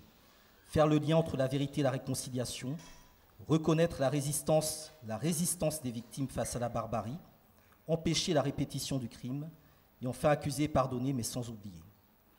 Une conséquence de l'absence de réparation est justement la culture de l'impunité du pouvoir raciste. Les réparations posent un principe de restitution obligatoire après tout acte de dépossession, que ce soit des terres, des hommes ou des ressources. L'absence de réparation au moment des abolitions de l'esclavage et le dédommagement des esclavagistes fait que d'une part, les relations économiques sont restées marquées par le racisme et d'autre part, les relations raciales sont marquées par cette culture de l'impunité visible dans la négrophobie ou les crimes raciaux au Brésil ou aux États-Unis. J'ai oublié de rajouter la France, qui montre que la vie des Noirs ne vaut rien. Un autre point concerne effectivement l'identification des acteurs. Qui doit recevoir des réparations Qui doit verser des réparations. Les Africains du continent peuvent-ils demander des réparations au même titre que ceux qui ont été déportés? Y a-t-il aussi des groupes en Afrique qui doivent payer des réparations? Ces questions nous obligent, en tant qu'historiens africains, à expliquer la continuité historique du crime avec toute une généalogie de dirigeants africains dont l'impunité est liée à la protection de l'ancien colon qui les récompense pour leur complicité comme au bon vieux temps. Le refus de l'élite africaine d'affronter la domination coloniale et raciste au moment des décolonisations a donné naissance à des États dominés, des États qui ont refusé d'eux-mêmes ou sous la pression coloniale de constitutionnaliser le droit au développement et donc le principe de la justice réparatrice. Dans les négociations de la table ronde à Bruxelles pour l'indépendance du Congo, Patrice Lumumba posait bien cette question des réparations.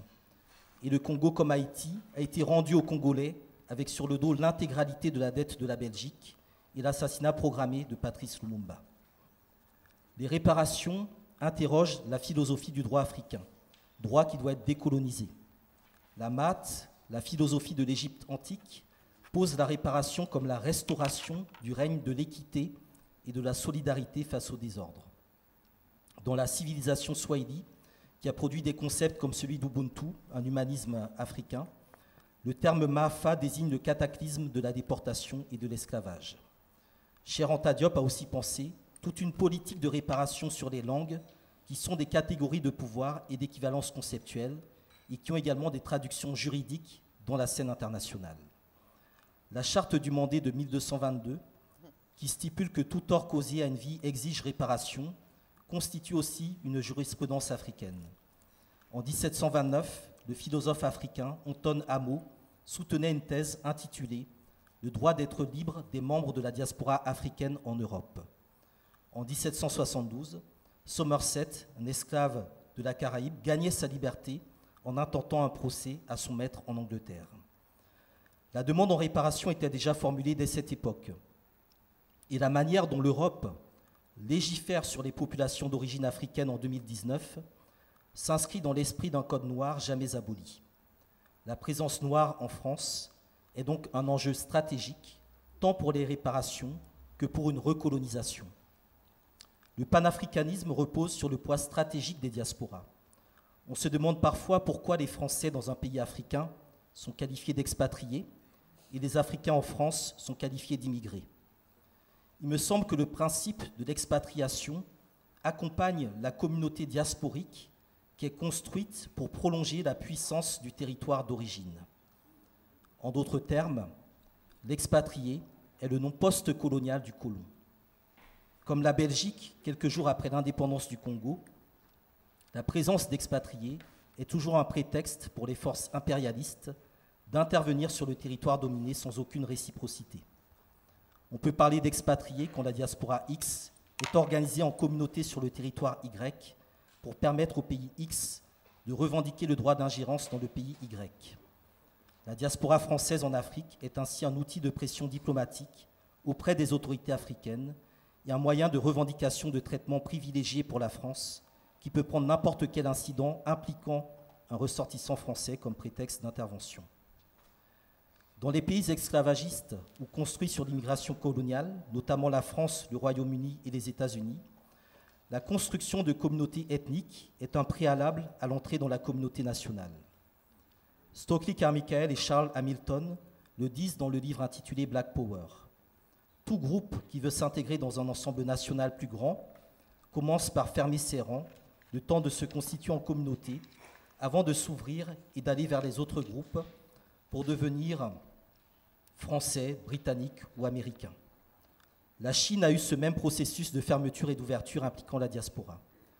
L'existence imaginable d'une communauté africaine en France, construite sur de solides bases panafricanistes, c'est-à-dire enracinant dans un même mouvement l'Afrique et la Caraïbe, autoriserait potentiellement, je dis bien potentiellement, un pouvoir politique panafricain de nature étatique ou supra-étatique à avancer des revendications plus importantes à l'égard de la France, notamment sur la question des réparations. La France ne peut donc se permettre de laisser se développer sur le sol hexagonal, et encore moins dans ses colonies, une communauté africaine centrée autour du panafricanisme. La crainte de l'établissement français face à l'émergence d'un communautarisme noir entraîne cette schizophrénie. Comme indiqué préalablement, les groupes qui s'intègrent, qui deviennent français, passent par une étape communautaire, mais le refus du communautarisme noir signifie en réalité le refus de l'intégration des populations noires au récit national français. Le refus de cette, intégration en tant que groupe, en tant que collectif, s'accompagne de l'acceptation de notre intégration à travers des individus dont le rôle est de désintégrer l'ensemble de la communauté. La rédemption sera donc collective et panafricaniste ou ne sera pas. Dans une vision libérale des réparations, la réduction des inégalités historiques passe par un accès plus grand au système en faveur du groupe ou d'une partie du groupe historiquement discriminé par la perte et les préjudices liés ici à la traite, l'esclavage et la colonisation. Cette vision libérale considère que réparer les injustices historiques nécessite de donner aux groupes concernés un accès plus important et privilégié à quoi? Au marché, au capital et aux services. Les réparations dans cette vision libérale passeraient alors par des mécanismes de réduction des inégalités, des politiques de réajustement que l'on connaît en Afrique, tenant compte des politiques publiques. Il faudrait toujours, dans cette vision libérale, donner une plus grande représentativité politique aux personnes noires pour qu'elles accèdent aux positions permettant d'imposer ou d'incarner une politique de réparation. Cela a été le cas par exemple avec les maires noirs élus au lendemain de la loi sur les droits civiques aux États-Unis dans les années 60. La question des réparations ne saurait se réduire à un problème d'inégalité dans l'accès au système et aux fruits du capitalisme. L'élection d'une personne noire dans le système ou à la tête du système, comme ce fut le cas avec Barack Obama, ne constitue certainement pas une solution panafricaniste et encore moins une victoire au titre des réparations. La réparation n'est pas dans la plus grande représentativité au sein du système, mais dans le renversement de ce système. Si le nègre de maison se demandait où aller en dehors de la maison du maître, le nègre des champs était prêt à aller partout du moment qu'il quittait la plantation. Or, aujourd'hui, aujourd'hui, nous avons des personnes qui se battent pour intégrer les cabanes de la plantation que sont le Conseil présidentiel pour l'Afrique et la saison Africa France 2020, pour aller faire des selfies à l'Élysée ou dans un autre genre pour transformer la sixième région en un projet nébuleux d'État de la diaspora africaine. Et dire qu'il y a un siècle, le leader jamaïcain Marcus Garvey, probablement l'homme noir le plus puissant du XXe siècle, créa un mouvement de masse en compagnie de Amy Ashwood puis de Amy Jacques. L'Association universelle pour l'émancipation des nègres et la Ligue des communautés africaines, UNIA-ACL, réunissaient plus de 6 millions de Noirs à travers le monde, disposaient de son journal, traduit en plusieurs langues, le Negro World, de bateaux et de tout un empire économique.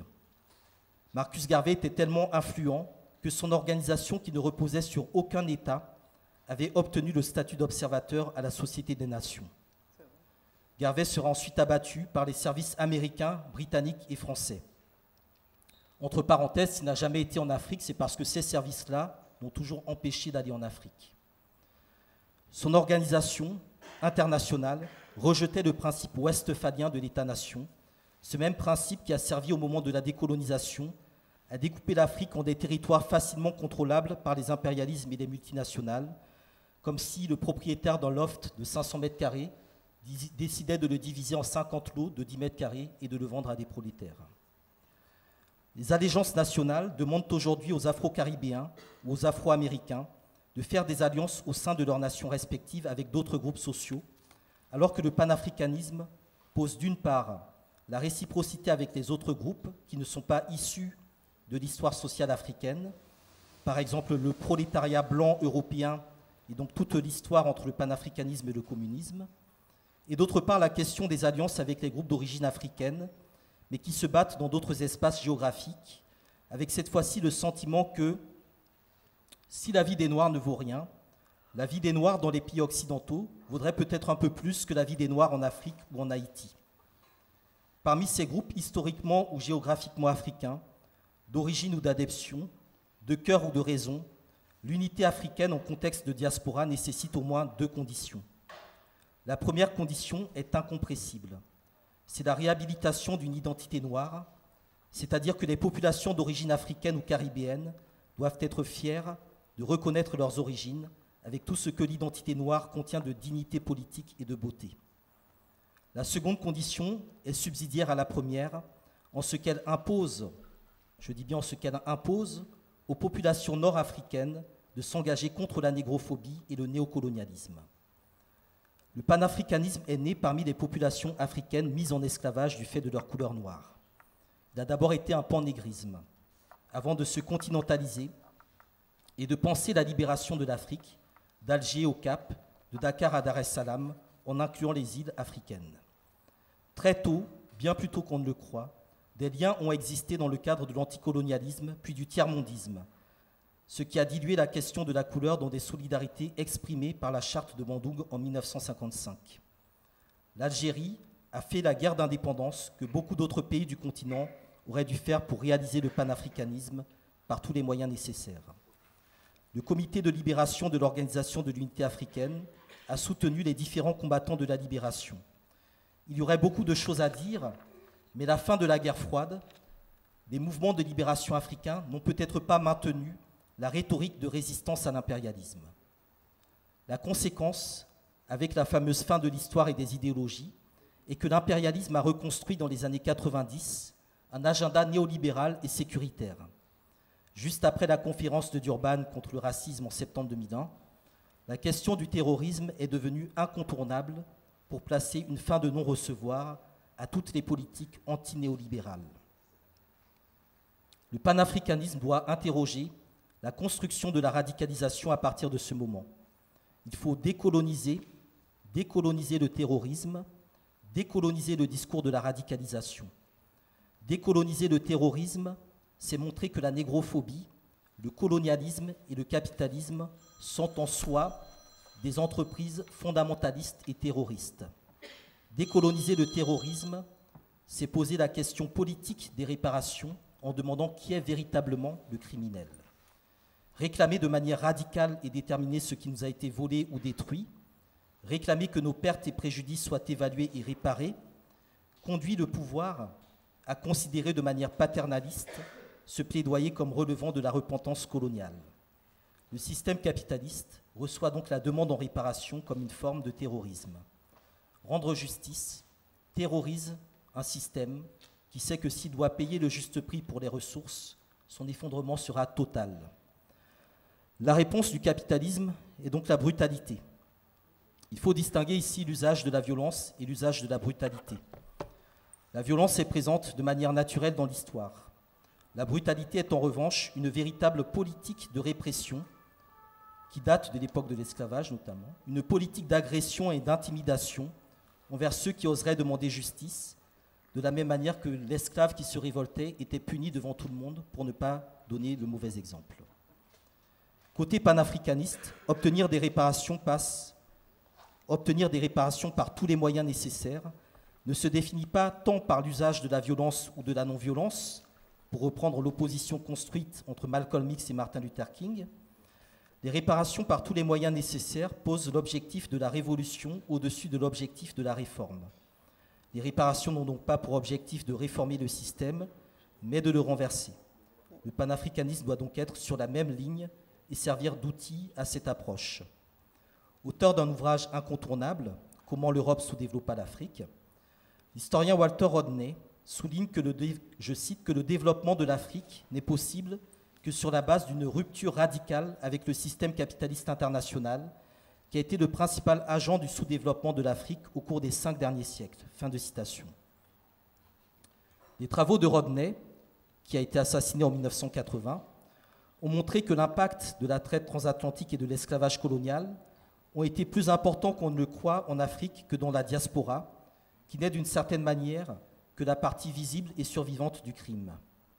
Convient ici de rappeler que si la traite vers le monde arabe a commencé avant la traite européenne, l'Afrique a connu son déclin précisément à partir du moment où la traite transatlantique s'est déclenchée avec l'arrivée du capitalisme, puisque les Européens ont eu la particularité de détruire et de s'aborder les économies africaines, et du racisme, puisque les Européens ont ciblé de manière systématique des populations noires.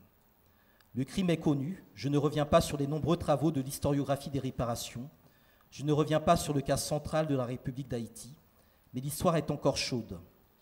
L'Europe ne peut pas revendiquer avec arrogance d'avoir aboli l'esclavage et de le fêter à chaque fois, et refuser qu'on lui rappelle qu'elle l'a pratiqué à une échelle industrielle dans le cadre d'un complexe économique, législatif, militaire, religieux et politique et raciste.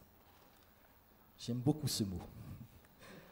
Les réparations doivent mettre l'Europe face aux contradictions de son humanisme et de son universalisme. Outre la récupération de notre histoire, les réparations nous autorisent, en tant qu'Africains ou Caribéens, à refuser un humanisme et un universalisme qui a validé pendant plusieurs siècles notre exclusion de l'humanité en tant que Noirs. Ce même humanisme et universalisme qui voudrait aujourd'hui nous être imposés comme si de rien n'était.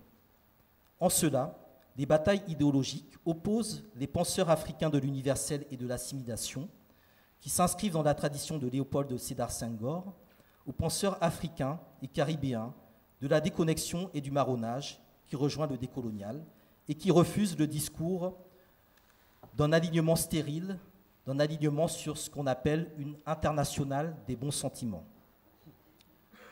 Une critique assez paresseuse soutient que Nelson Mandela a trahi en négociant avec le régime de l'apartheid, mais on oublie a trahi en négociant avec le régime de l'apartheid sans mettre en avant la question du démantèlement du pouvoir économique blanc dans le cadre notamment d'une politique de réparation et de reconstruction, comme cela avait été le cas au lendemain de la guerre civile aux États-Unis.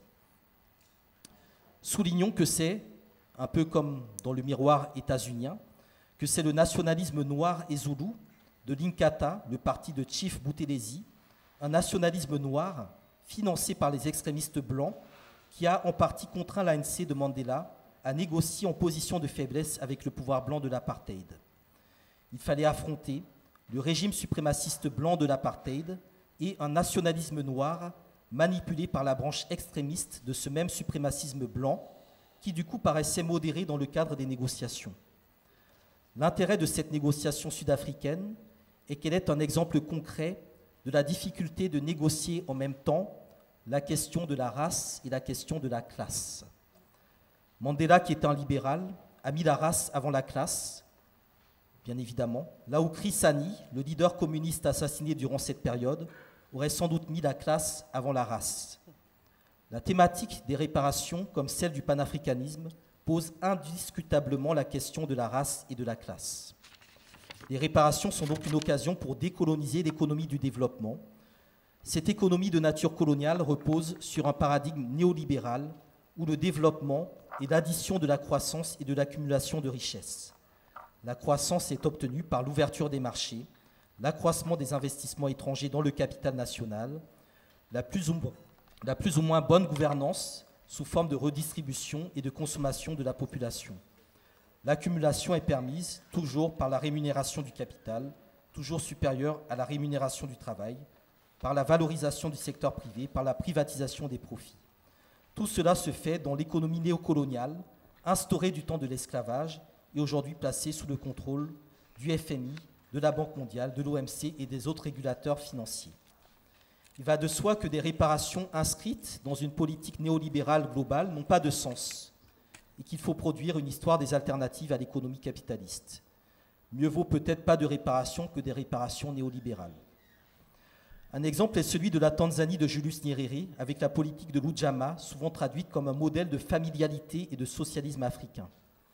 Centrée sur le sens communautaire, le partage des biens, l'entraide, la politique nyerériste de l'Ujama voulait combattre la pauvreté et réparer des injustices économiques et sociales.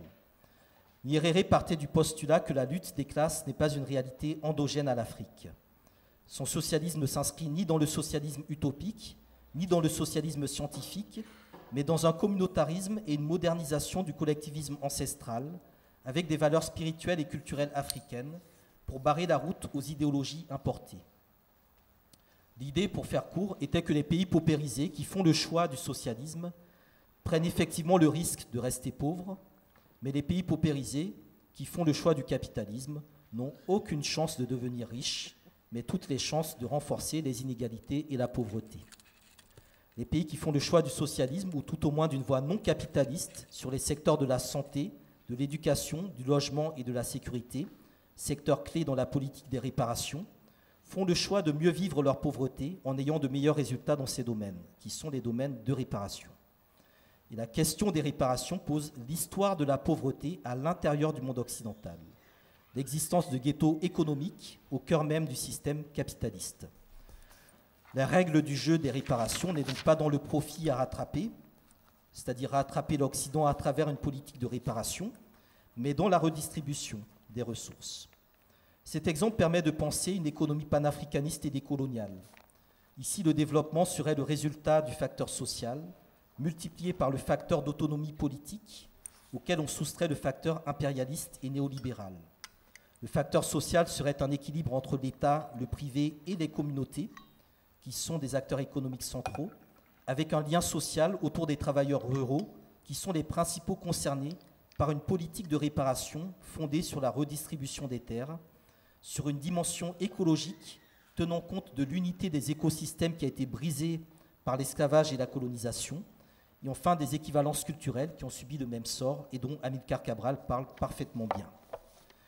Le facteur d'autonomie politique s'appuierait, un, sur l'expertise de la population dans le domaine de la technologie et de la formation, deux, sur une politique de budget participatif adossée à une révolution fiscale qui prendrait sens dans une politique de réparation, et trois, sur un mécanisme démocratique de contrôle de la monnaie et des prix.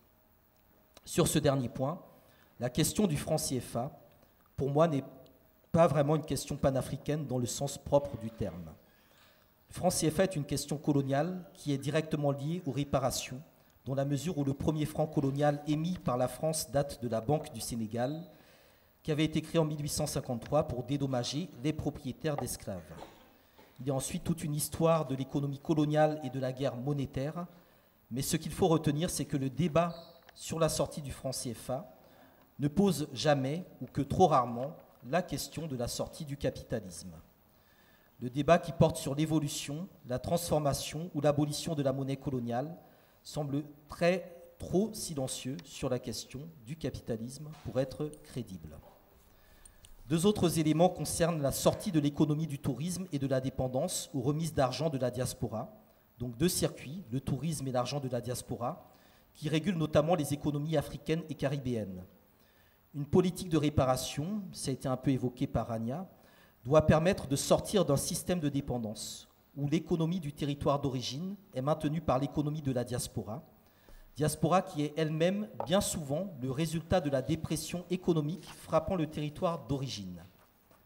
Je répète, une politique de réparation doit permettre de sortir d'un système de dépendance où l'économie du territoire d'origine est maintenue par l'économie de la diaspora, diaspora qui est elle-même bien souvent le résultat de la dépression économique frappant le territoire d'origine. C'est donc la fameuse question de l'argent des migrants africains qui viennent récupérer en Europe les ressources pillées comme une conséquence de la conséquence, comme une métastase de l'esclavage et de l'absence de réparation. Avec le montant global des remises supérieur à l'aide publique au développement, l'économie de la diaspora ou de ce qu'on appelle les migrants est très convoitée par les organes financiers capitalistes.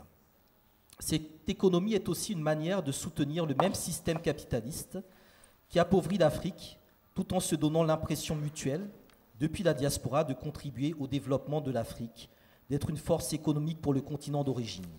Autrement dit, concevoir l'Afrique comme une entité qui pourrait davantage s'intégrer à la mondialisation financière à travers sa diaspora est une forme sophistiquée de néocolonialisme. Ayons conscience que nous sommes un rouage de ce néocolonialisme.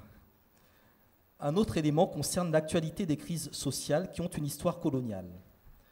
La première cause, et Mireille en a parlé en évoquant notamment le bumidum, la première cause de la présence noire en France n'est pas liée à la visite de la Tour Eiffel, mais à la manière dont l'histoire du capitalisme français s'est toujours appuyée sur la force de travail des colonisés.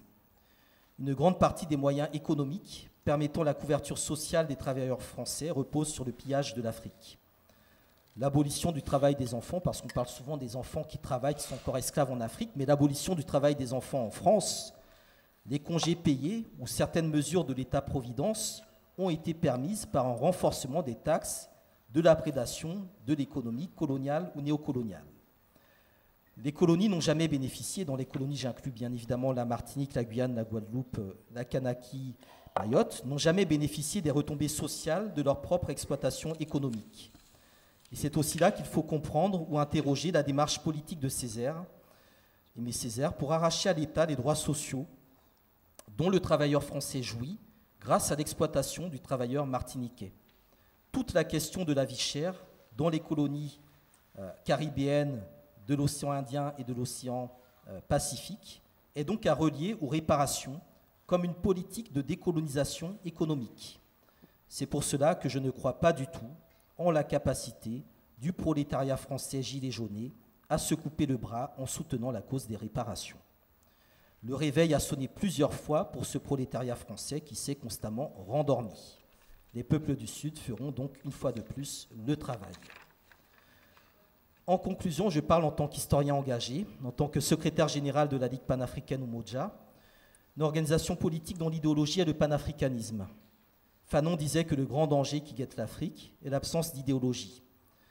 L'unité pour l'unité ou la convergence pour la convergence, ça n'a vraiment pas beaucoup d'intérêt. Toute l'Afrique est réunie dans l'Union africaine, mais vous ne trouverez pas trois pays, trois pays, capables d'avoir de manière souveraine la même position sur un problème et de venir avec le même agenda devant les Russes, devant les Chinois, devant les Français, devant les Américains. Le militantisme est une affaire de surprise-surprise. Le panafricanisme ne se résume pas à être ensemble et à se raconter des histoires. La responsabilité de nos organisations est de faire avancer un mouvement que l'histoire nous a confié pour un temps, en faisant en sorte que ce mouvement ne tombe jamais dans les mains d'individus ou de groupes dont le rôle est de déstabiliser tout ce qu'il touche.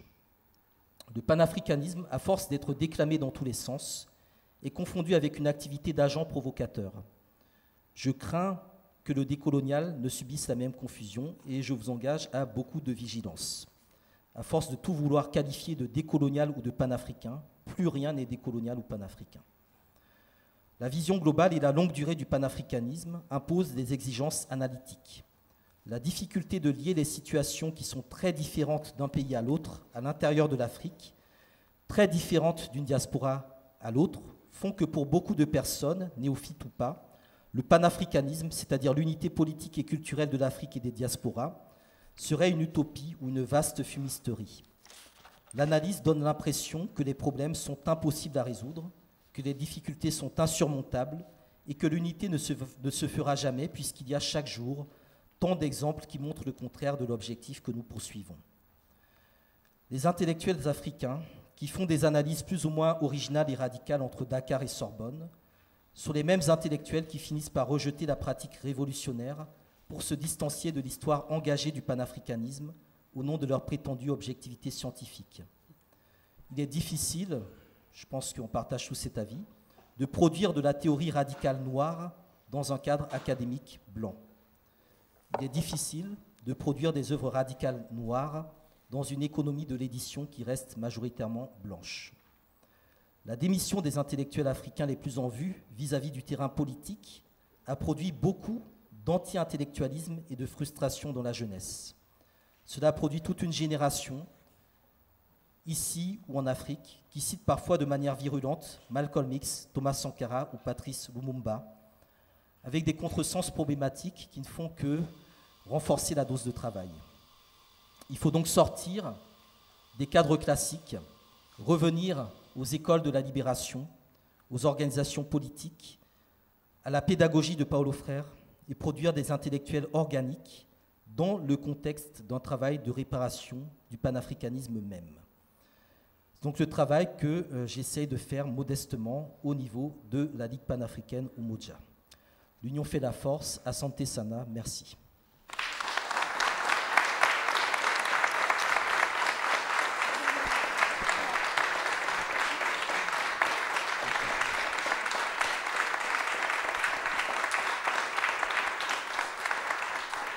Merci, euh, merci Hamzat, merci à tous les autres pour euh, ces interventions.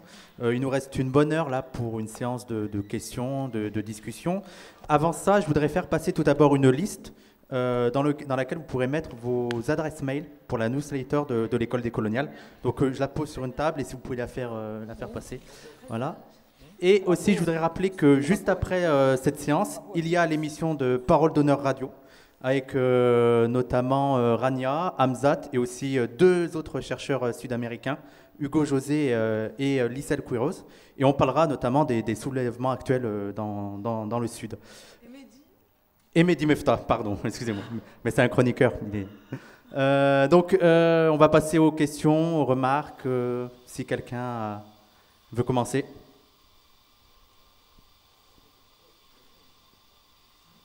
Oui.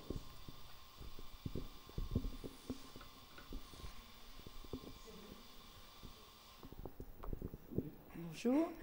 Alors, je voulais éviter de prononcer le mot imprescriptibilité euh, du crime de l'humanité. Ça y est, c'est dit, donc euh, voilà.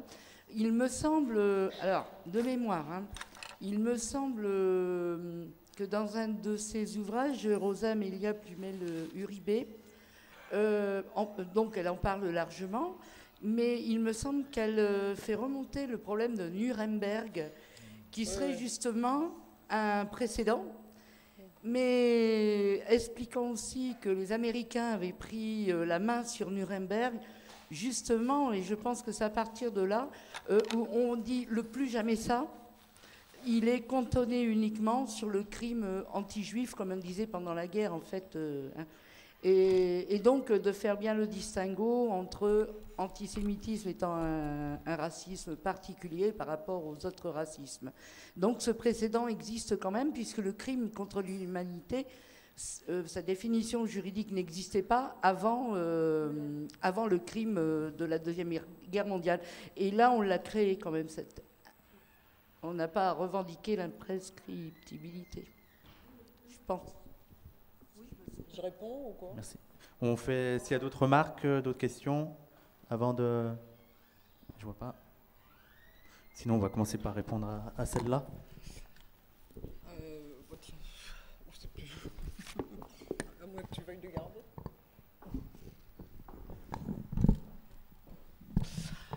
sur la question de... Effectivement, bon, j'ai pas voulu rentrer euh, dans cette... dans cette définition euh, de l'imprescriptibilité au regard euh, des crimes euh, contre l'humanité et de génocide liés à la Seconde Guerre mondiale.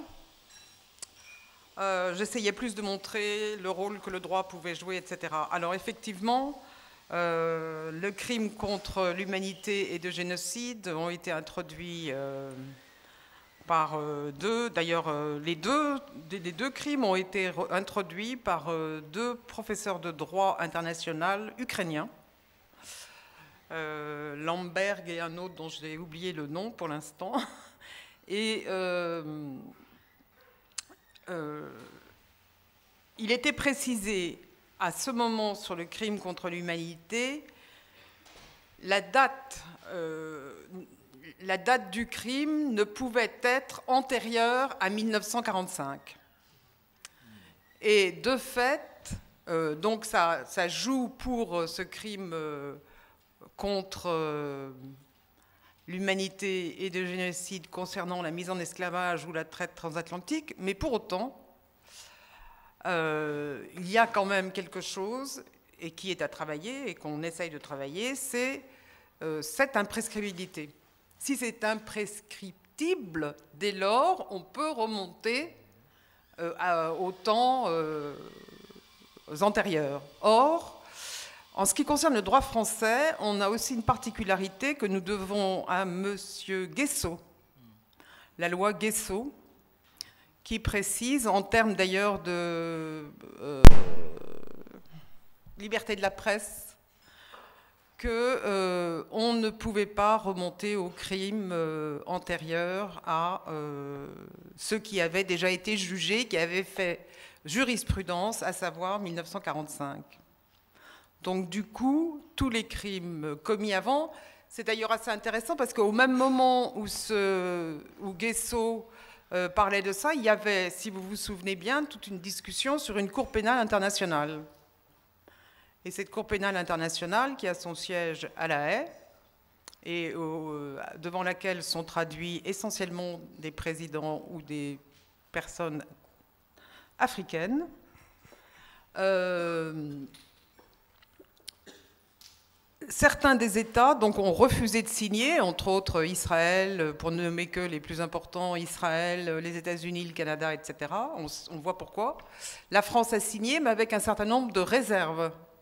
Et si la France a signé avec un certain nombre de réserves, et je crois que ces réserves sont tombées il n'y a pas longtemps, euh, parce qu'elles ne voulaient pas être traduites pour les crimes commis pendant la lutte de libération du peuple algérien, mais aussi pour les crimes de Madagascar, etc. etc. Donc, effectivement, on est euh, bordé par ça. Mais pour autant, ça ne veut pas dire... Le droit, c'est une matière euh, protéiforme, qui n'est pas fixe.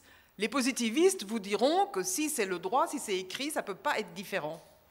Donc effectivement, on est bloqué, mais il y a toute une école de non-positivistes qui essayent de, de tordre les, les- les- les- les articles, de trouver des failles dans les articles pour pouvoir aller au-delà de ce positivisme et donc de poser un certain nombre de questions euh, sur, euh, sur l'imprescriptibilité, entre autres. Et on se retrouve euh, d'ailleurs aussi euh, assez souvent, par exemple, pour tous les crimes euh, de guerre commis pendant la première intifada, on s'est retrouvé aussi face à cette, impossibilité, puisque les crimes ne rentraient pas dedans. Alors là, c'est pas pour la même raison, mais c'était l'Israël ne pouvait pas être traduit puisqu'il n'avait pas signé euh, la déclaration euh, sur les crimes de guerre et de génocide. Donc voilà un peu euh, où on est, ce qui, explique aussi la difficulté euh, de, pouvoir euh, même traduire les crimes de guerre euh, actuels euh, très difficilement. Et en revanche, curieusement, on constate quand même qu'il y a une certaine souplesse pour euh, travailler sur euh, ce droit euh, international positif, viste, lorsqu'il s'agit de crimes de guerre qui ont été commis par des présidents africains ou par d'autres. Et ça renvoie d'ailleurs à ce côté aussi un peu de, de, de, la façon dont sont traités, c'est ce que a souligné Hamza, dont sont traités les Africains, les peuples africains et leurs présidents, ou aussi les afro-descendants. Voilà. Est-ce qu'il y a une autre question, une remarque dans le public? Ah, au fond. là, après vous.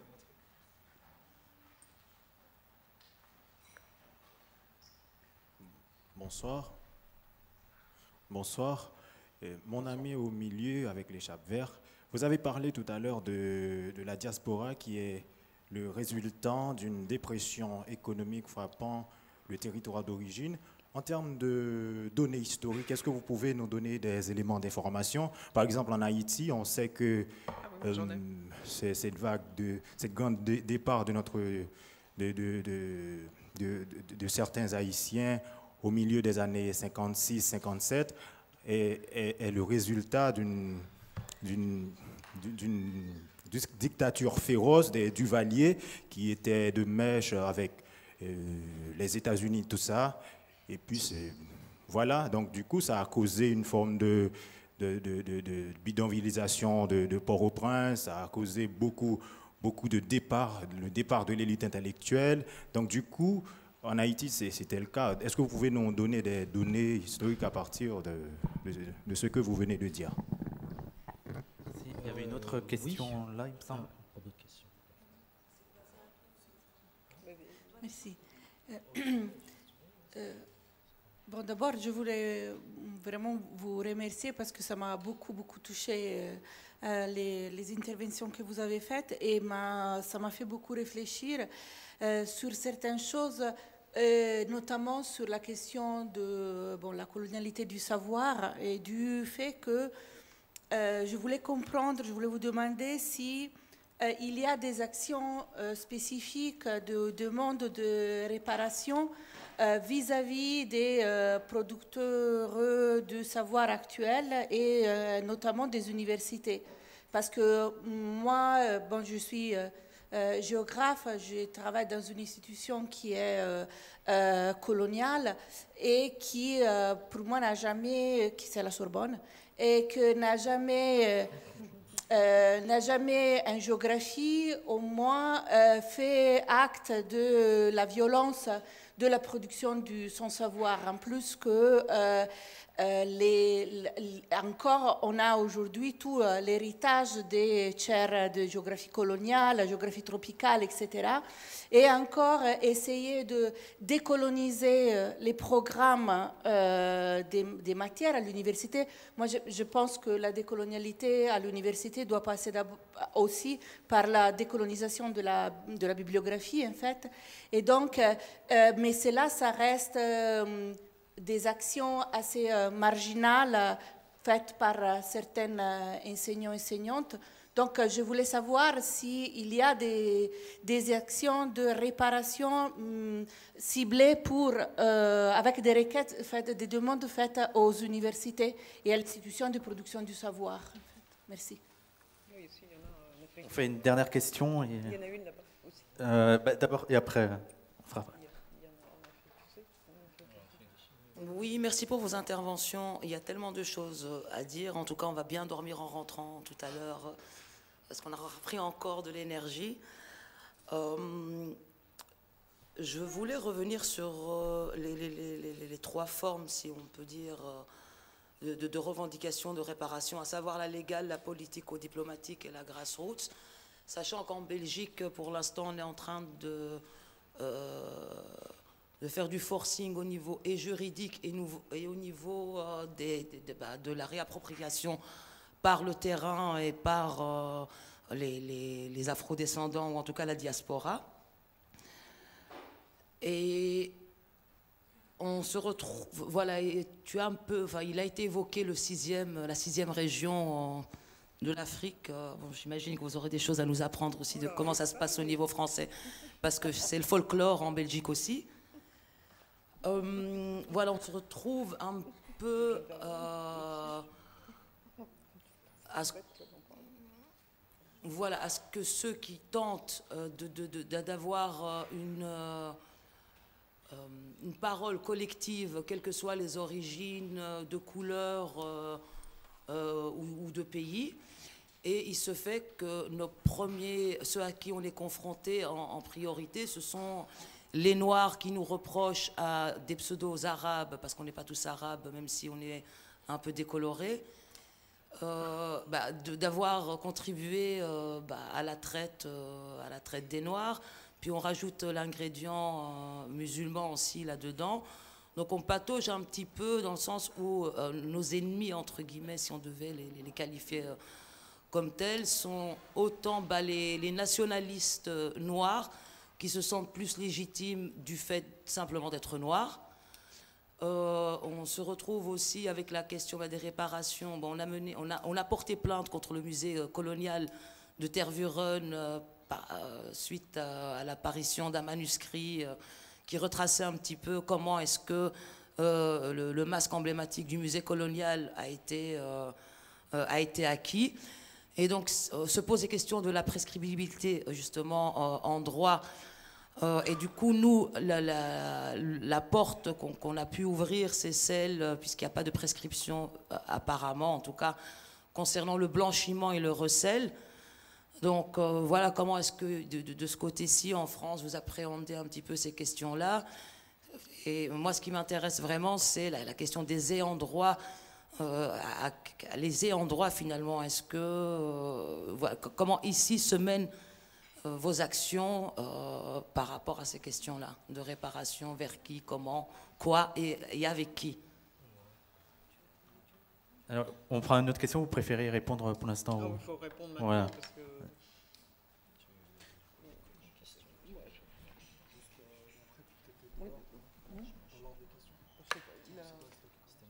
Euh, oui, sur la, je crois par rapport au, aux migrations, enfin le lien les, euh, sur le cas des Haïtiens par exemple, il y a des Haïtiens dans la salle qui connaissent encore mieux leur histoire, euh, mais effectivement il y a toujours eu, euh, enfin le cas d'Haïti est un peu particulier parce que Haïti est quand même à son indépendance, a fait l'objet d'un embargo, a fait l'objet d'une guerre de recolonisation, d'une occupation à partir de 1915 de la part des Américains, puis ensuite de toute une période assez complexe. Effectivement, les, euh, les, constitutions de diaspora haïtienne sont le résultat de, on va dire, de crises économiques, sociales, politiques euh, qui touchent le territoire d'Haïti en soi. Donc il y a toute une diaspora qui s'est constituée à l'extérieur euh, d'Haïti, mais dans le contexte, je dirais, plus intéressant qui, est, celui, par exemple, de la continuité coloniale.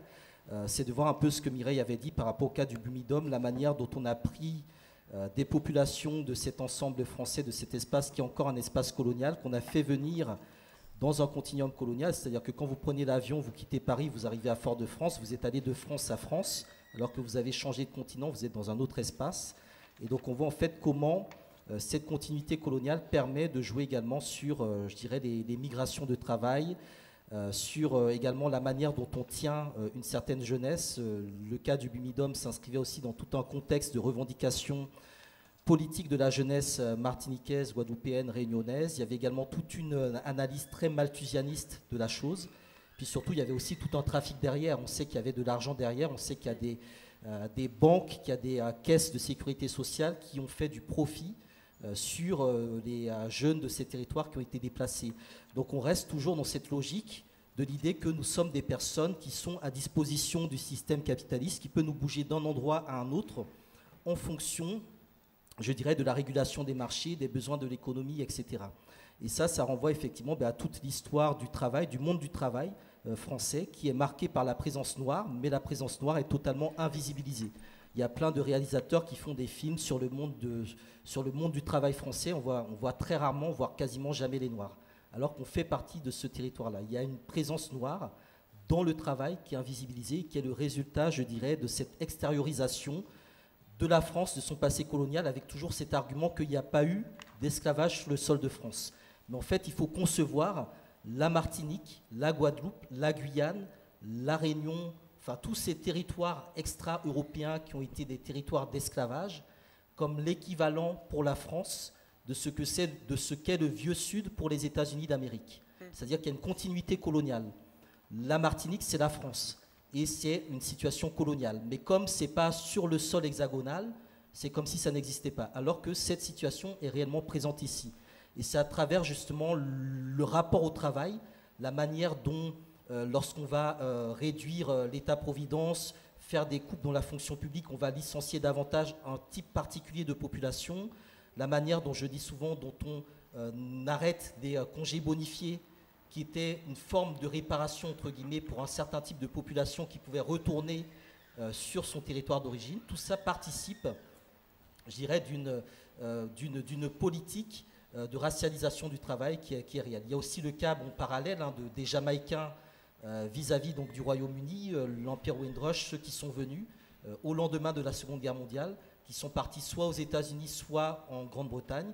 Et aujourd'hui, les plus grandes rentrées d'argent pour l'économie de la Jamaïque, ben, c'est l'argent envoyé par les Jamaïcains d'Angleterre ou des États-Unis, et c'est également les retraites, les pensions de retraite des migrants qui reviennent ensuite au pays et qui permet de maintenir l'économie debout avec le troisième élément qui est l'économie du tourisme, donc l'arrivée euh, de vacanciers euh, nord-américains, fortunés, etc. Donc on reste toujours dans cette extraversion de l'économie, dans ce rapport de dépendance qui est structuré aussi par des, euh, des relations sociales qui n'ont pas été décolonisées et qui renvoient encore une fois la nécessité de penser les réparations à la fois sur la question de la race et à la fois sur la question de la classe.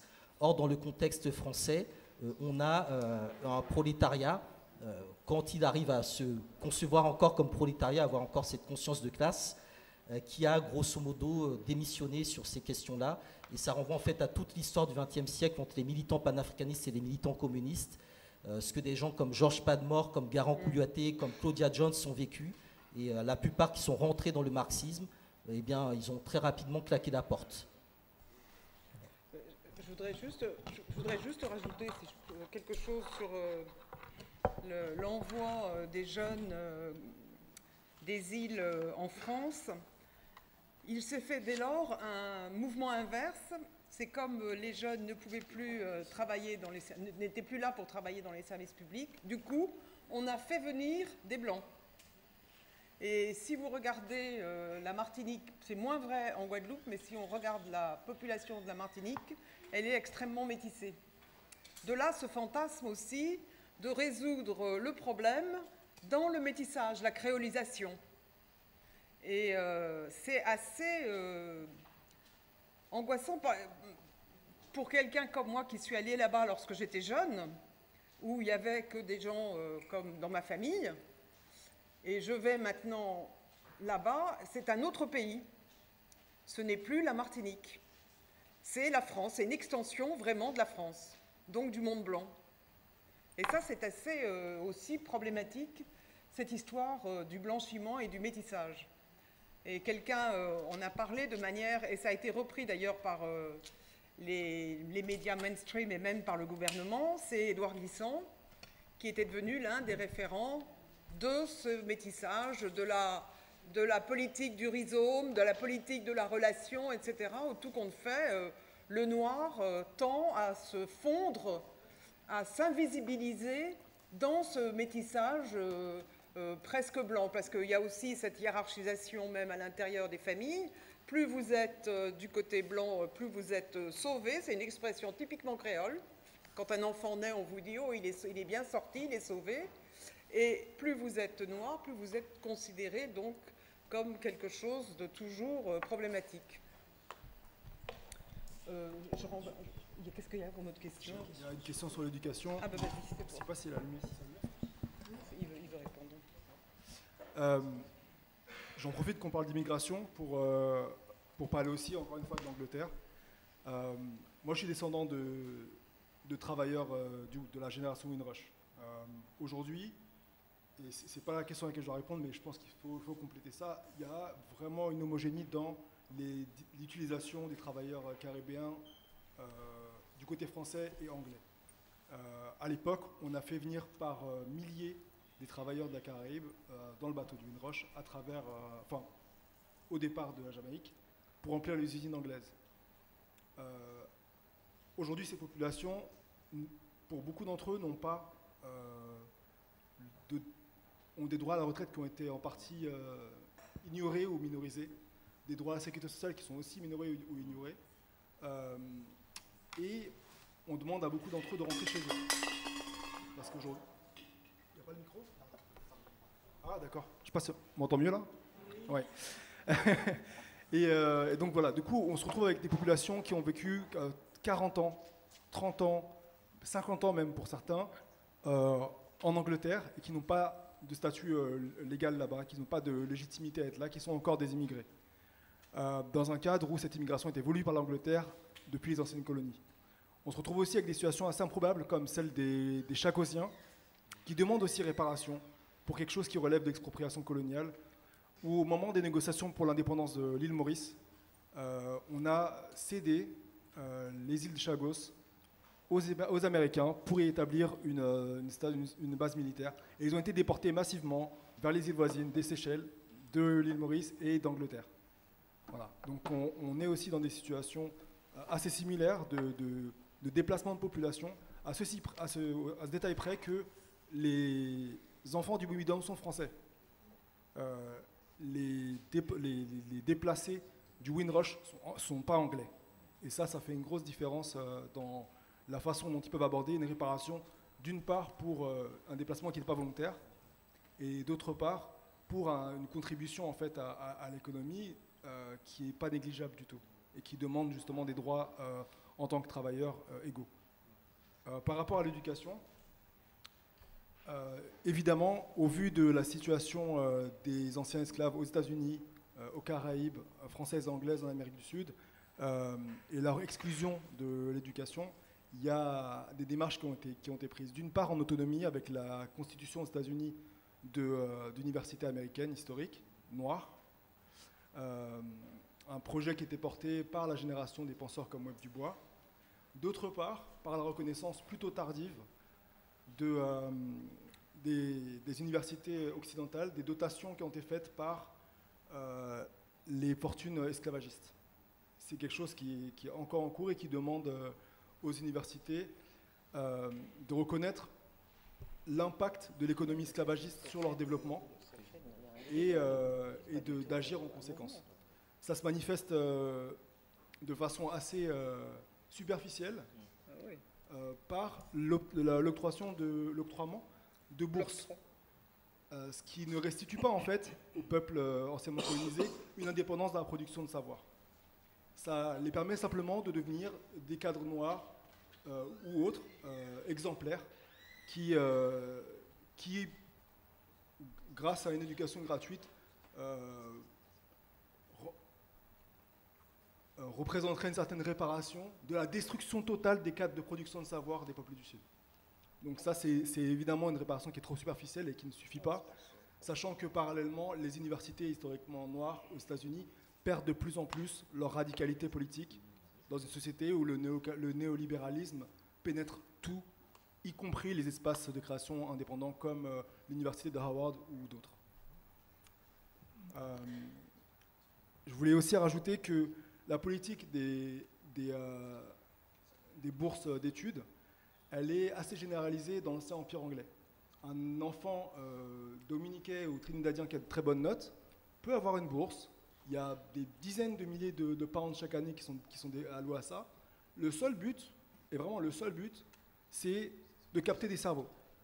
Il n'y a absolument aucune euh, démarche mise en place pour un retour euh, euh, au Caraïbes favorable. Et même quand celui-ci se produit, il va dans le sens d'alimenter l'intelligentsia formée à l'école anglaise pour pérenniser la situation néocoloniale.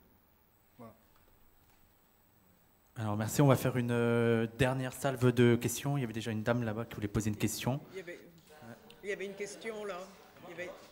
Il y, a une question que tu n'as pas répondu? Ah pardon, c'est une bonne.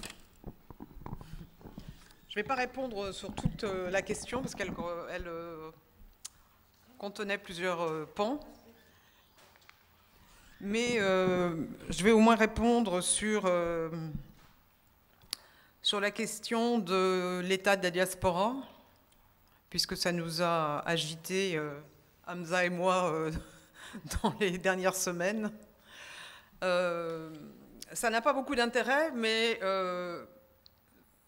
mais c'est quand même relativement important d'être informé et de voir de quoi il s'agit exactement. Donc il y, a eu une décennie internationale pour les, personnes d'ascendance africaine qui a été décidée à l'ONU en 2015. Euh, comme l'ONU, effectivement, est, manie le paradoxe avec beaucoup euh, d'aisance, et peut-être de moins en moins quand même, euh, mais enfin, il s'englue dans ses politiques curieuses.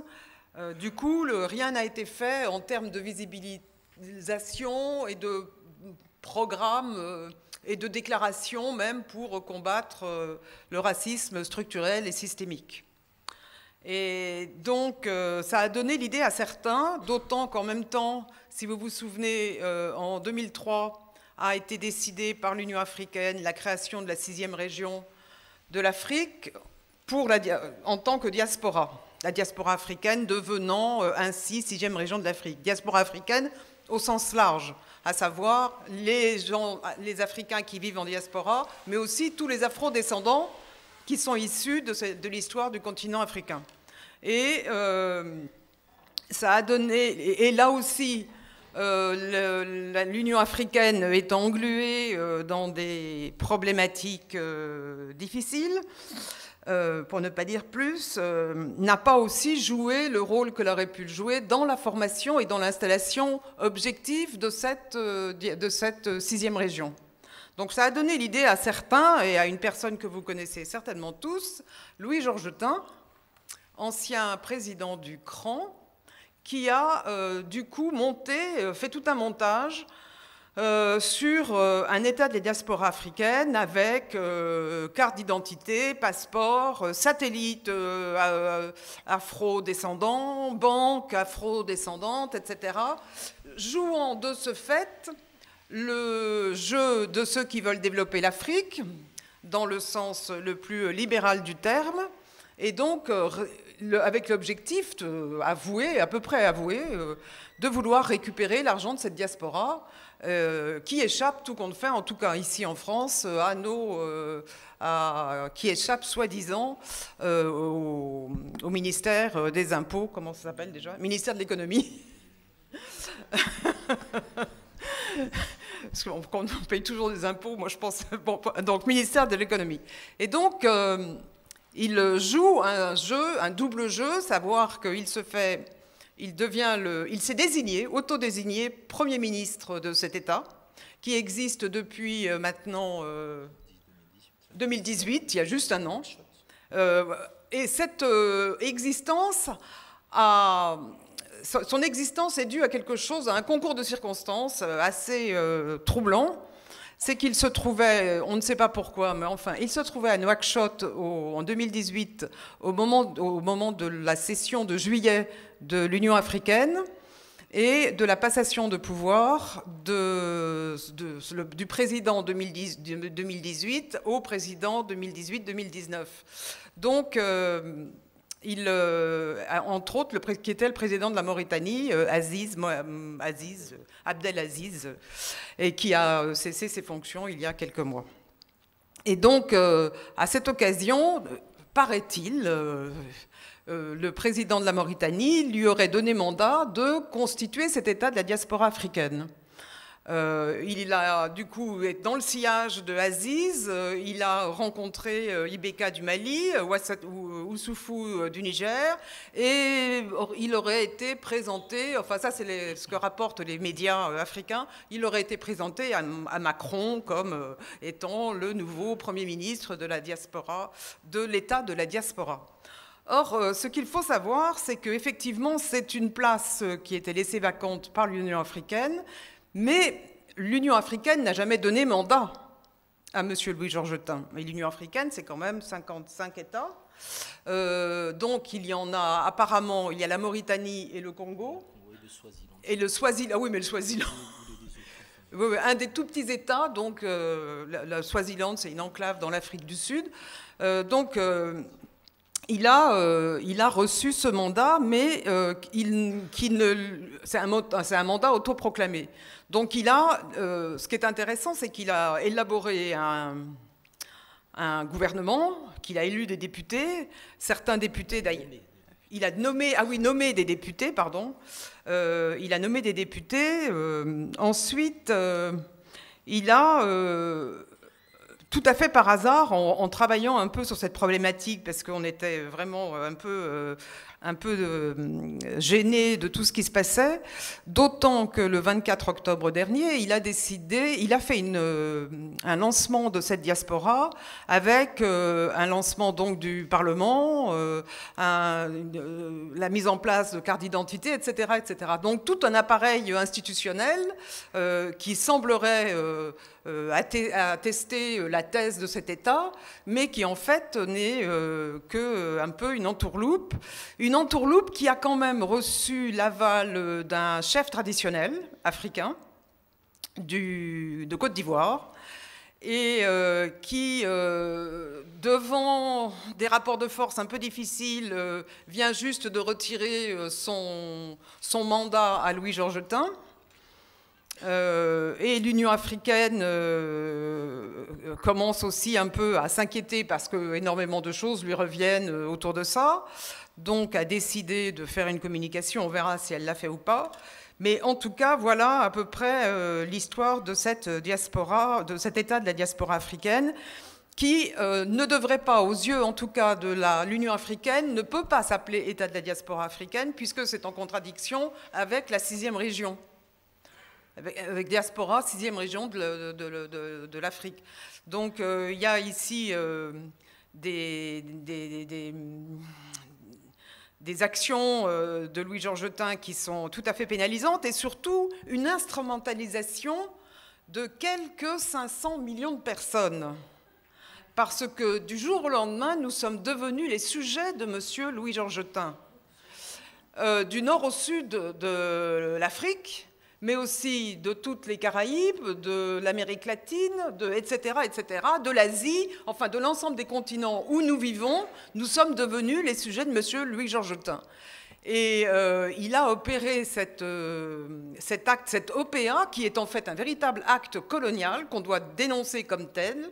Il l'a euh, opéré sous couvert, enfin avec le, avec le soutien de quelques personnes, mais aussi, et c'est là ce qu'on a découvert dernièrement avec euh, Hamza, c'est Hamza d'ailleurs qui l'a découvert dans, une nuit où nous cherchions chacun de notre côté un peu ce qu'on pouvait faire, et il a découvert euh, que cet état de la diaspora africaine était intégré dans un groupe euh, financier euh, où il y a des banques internationales, des institutions différentes. Ça s'appelle, vous pouvez aller sur le site, ça s'appelle Graal. D'ailleurs, c'est très intéressant. C'est Graal, comme le Graal. Euh, euh, Léo, Graal, G-R-A-A-L-E-O.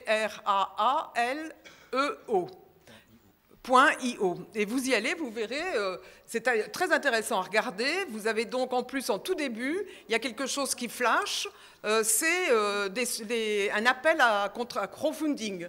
Donc pour, euh, donner de l'argent pour l'État, oui, et donc, ce groupe veut en fait, euh, après il y a la, tout le déroulé de l'État de la diaspora, vous verrez nos ministres et nos ministres eux, euh, vous verrez toutes ces personnes, et ensuite arrive la, présentation de ce groupe Graléo. Et en fait, ils ont l'idée dans leur objectif de Graléo, c'est de, mettre sur pied une monnaie africaine qui serait l'équivalent d'un bitcoin, euh, de façon, et ils se présentent comme une entité euh, mercantile, libérale, euh, universelle, en plein donc dans, tout ce que nous avons dénoncé ici, en plein donc dans la reproduction d'un modèle capitaliste qui va être imposé à l'Afrique. Et il, il euh, et voilà donc dans quel engrenage euh, l'état de cette diaspora, donc nous-mêmes, euh, sommes entraînés par quelqu'un qui s'est autoproclamé président. Donc je pense qu'il est important peut-être de réfléchir à comment nous, on a déjà manifesté, enfin manifesté notre position. Il y a eu une émission de radio autour de ça. donc je pense qu'il faut un petit peu être vigilant et surtout euh, dénoncer euh, par tous les moyens où que ce soit cet état de la diaspora qui prétend nous représenter. Et donc en même temps, non seulement ils mettent sur place un, crowdfunding, mais il a l'idée, dans, une de ses présentations, il précise qu'il va demander 50 euros par mois à chacun de la diaspora, et comme ça ils auront de l'argent pour créer un satellite de la diaspora. Enfin bon, des délires, mais des délires qui sont un peu problématiques, puisque ça nous met c'est un acte colonial, ça je crois, et ça ne nous met pas du tout dans ce que nous sommes en train de travailler, à savoir un projet décolonial pour penser non seulement euh, le continent africain, mais aussi les politiques de ces pays, mais aussi pour penser la façon dont, en tant, que descendant de, de, cette de, personnes d'ascendance africaine, nous allons nous inscrire dans les pays où nous vivons pour faire émerger euh, une alternative à ce modèle capitaliste. Comment? 1885 bis. je, précise juste qu'à la fin du déroulé, vous avez euh, trois dirigeants européens. Vous avez Macron qui est présenté comme président de la France et de l'île de la Réunion, qui prennent bien un territoire africain pour le mettre dans le projet. Vous avez le Premier ministre espagnol au titre des Canaries et, et le Premier ministre britannique au titre des îles Sainte-Hélène et euh, Cunha. Donc ça montre bien que ces fameux territoires qui restent à décoloniser, si on ne les décolonise pas, ben, ça va servir de, base pour tout et n'importe quoi. Alors on va, on va faire encore une ou deux questions pour, pour terminer. Il y en avait déjà une là-bas.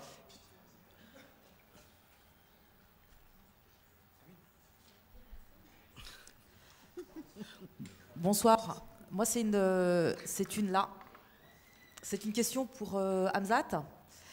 Euh, merci, merci à tous pour vos interventions. J'ai beaucoup euh, apprécié celle d'Amzat en particulier, puisqu'elle donne quand même une, une, dimension très générale à la question du panafricanisme, et c'est vrai qu'elle était euh, intéressante politiquement. J'avais une question concernant, concernant la question du panafricanisme et surtout la manière dont en France, quand on est en France et qu'on vit et qu'on vient de l'histoire coloniale, qu'on vit en France, je voudrais savoir et c'est une grande question que je pose là, que, nous nous posons nous-mêmes euh, à l'intérieur de euh, au, sein du PIR. Euh, la question est la suivante. Qu'est-ce qu'il faut faire Que faudrait-il faire pour rendre le panafricanisme concurrentiel d'un fléau dont tu as parlé tout à l'heure, qui est l'intégrationnisme tu l'as dit, et de manière tout à fait explicite, tu dis qu'on ne peut pas à la fois être intégrationniste, vouloir s'intégrer et vivre dans une ancienne colonie qui reste un État impérialiste et colonial, et en même temps vouloir la libération de l'Afrique. Donc ma question, qui est vraiment une question fondamentale, hein, à, laquelle il est très difficile de répondre, comment on fait pour rendre le panafricanisme sexy, entre guillemets, euh, pour le rendre concurrentiel de l'idéologie intégrationniste? J'ai une autre question là. Bonjour. Euh, je ne sais pas si vous m'entendez. J'ai une question euh, concernant l'absence des masses noires dans ce genre d'événement particulièrement. Je remarque que la plupart des noirs, par exemple, issus des banlieues, ou des noirs qui sont vraiment dans une situation, pour le coup, très précaires, sont souvent absentes euh, dans ce genre d'événement. Est-ce qu'il y a une façon de rendre ce genre d'événement plus sexy à leurs yeux, une façon de les attirer euh, finalement vers des causes qui les concernent, qui leur concernent euh, Je vous remercie.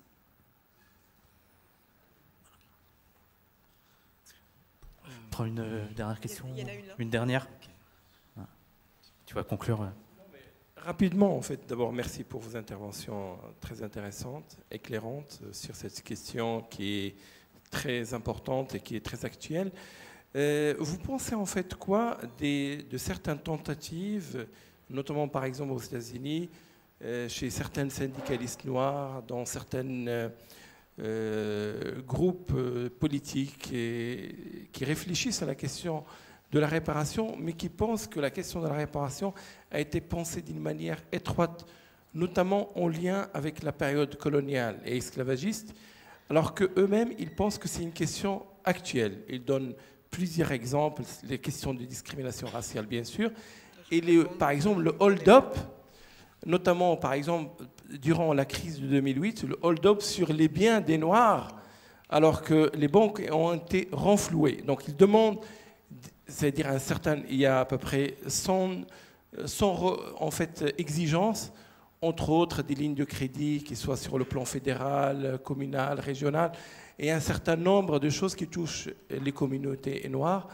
Euh, qu'est-ce que vous pensez en fait de, de, leur volonté de faire de la question des réparations une question beaucoup plus vaste que seulement son lien avec un, passé euh, qui, qui, a certainement un, une incidence sur le présent?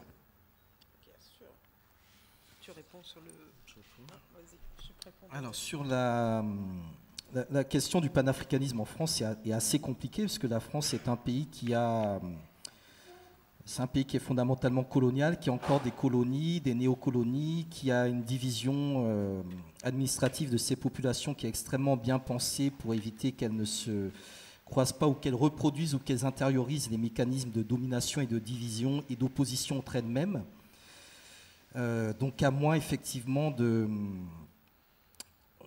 Il y, a plusieurs manières de prendre la chose. Il y a la possibilité de de travailler sur tout ce qui est lié à la, aux formes de compassion, décoloniser tout ce qui est lié à la compassion, euh, renforcer les, euh, solidarités, euh, je dirais, intra-africaines, intra-communautaires, et donc décloisonner les diasporas telles qu'elles se construisent ici sur le modèle de la division des États d'origine du continent africain qui sont eux-mêmes des États balkanisés. Euh, donc ça, ça renvoie peut-être à des euh, stratégies de passer par des organisations, d'aller vers des états généraux, des fédérations, etc., comme du temps de la FIANF, euh, passer par des catégories socio-professionnelles qui peuvent être pertinentes. Je pense que la, période étudiante est la plus, intéressante. Il y a un regain des associations d'étudiants africains en France. Chaque mois, quasiment, je suis quelque part en France avec des étudiants africains qui veulent s'organiser et on est en train de les structurer. Euh, donc là, c'est un espace qui peut être intéressant pour euh, poser des, jalons dans la durée et pour euh, offrir une autre perspective. Ensuite, c'est prendre à revers le, nouveau récit français qui est en train de se construire, puisqu'on sait depuis le rapport Védrine, Zinsou, etc., que la France, pour remettre le pied en Afrique, veut s'appuyer sur la diaspora africaine de France et donc promouvoir un certain, un certain ethos libéral, entretenir une certaine classe sociale, artistique, intellectuelle, etc. Donc ça, c'est tout le travail, euh, je dirais, d'alternative qui est fait. Euh, au niveau de la Ligue, on va essayer de faire une contre-saison euh, par rapport à Africa France 2020. Il y a décoloniser les arts aussi qui est par rapport à tous ces dilemmes-là. Donc il y a quand même un certain nombre de structures qui font un travail de terrain qui est peut-être pas encore suffisamment visible parce qu'il n'y a pas de finalité politique donnée en tant que telle. Et cette question d'une finalité politique, d'une vision idéologique, eh bien, elle nécessite, je dirais, de, se cristalliser sur de, de véritables terrains euh, de véritables terrains de lutte. Je pense que la, connexion avec la, Caraïbe est essentielle. Euh, on a besoin que les, euh, les, Martiniquais, les Guadeloupéens, les Guyanais, les Réunionnais qui sont ici en, Europe se repolitisent davantage sur un certain nombre de questions. on a besoin qu'il y ait aussi, je dirais, des, capacités à, se comprendre comme étant des, des parasites possibles de ce système-là que nous faisons fonctionner. Donc euh, tout l'enjeu, c'est aussi comment on peut être des parasites de ce système qui tient en partie à notre, euh, pas servitude volontaire, mais en tout cas à nos priorités. Donc comment repenser les, euh, questions de, priorité, les questions de précarité, comment lier également tout, ce qui est lié également à la lutte dans le domaine du travail avec cette question de la, de la récupération politique d'un pouvoir en tant que noir et en tant qu'africain de manière plus générale. Euh, voilà, mais euh, l'autre perspective, c'est de donner, je dirais, des objectifs euh, sur le continent africain, de faire avancer les choses sur le continent africain. je prends un exemple très concret. Quand je parle des étudiants, partout où je passe dans les universités, je dis aux étudiants africains, fédérez-vous, mettez en place des, comment dire, des partenariats statutaires avec des associations d'étudiants africains en Afrique.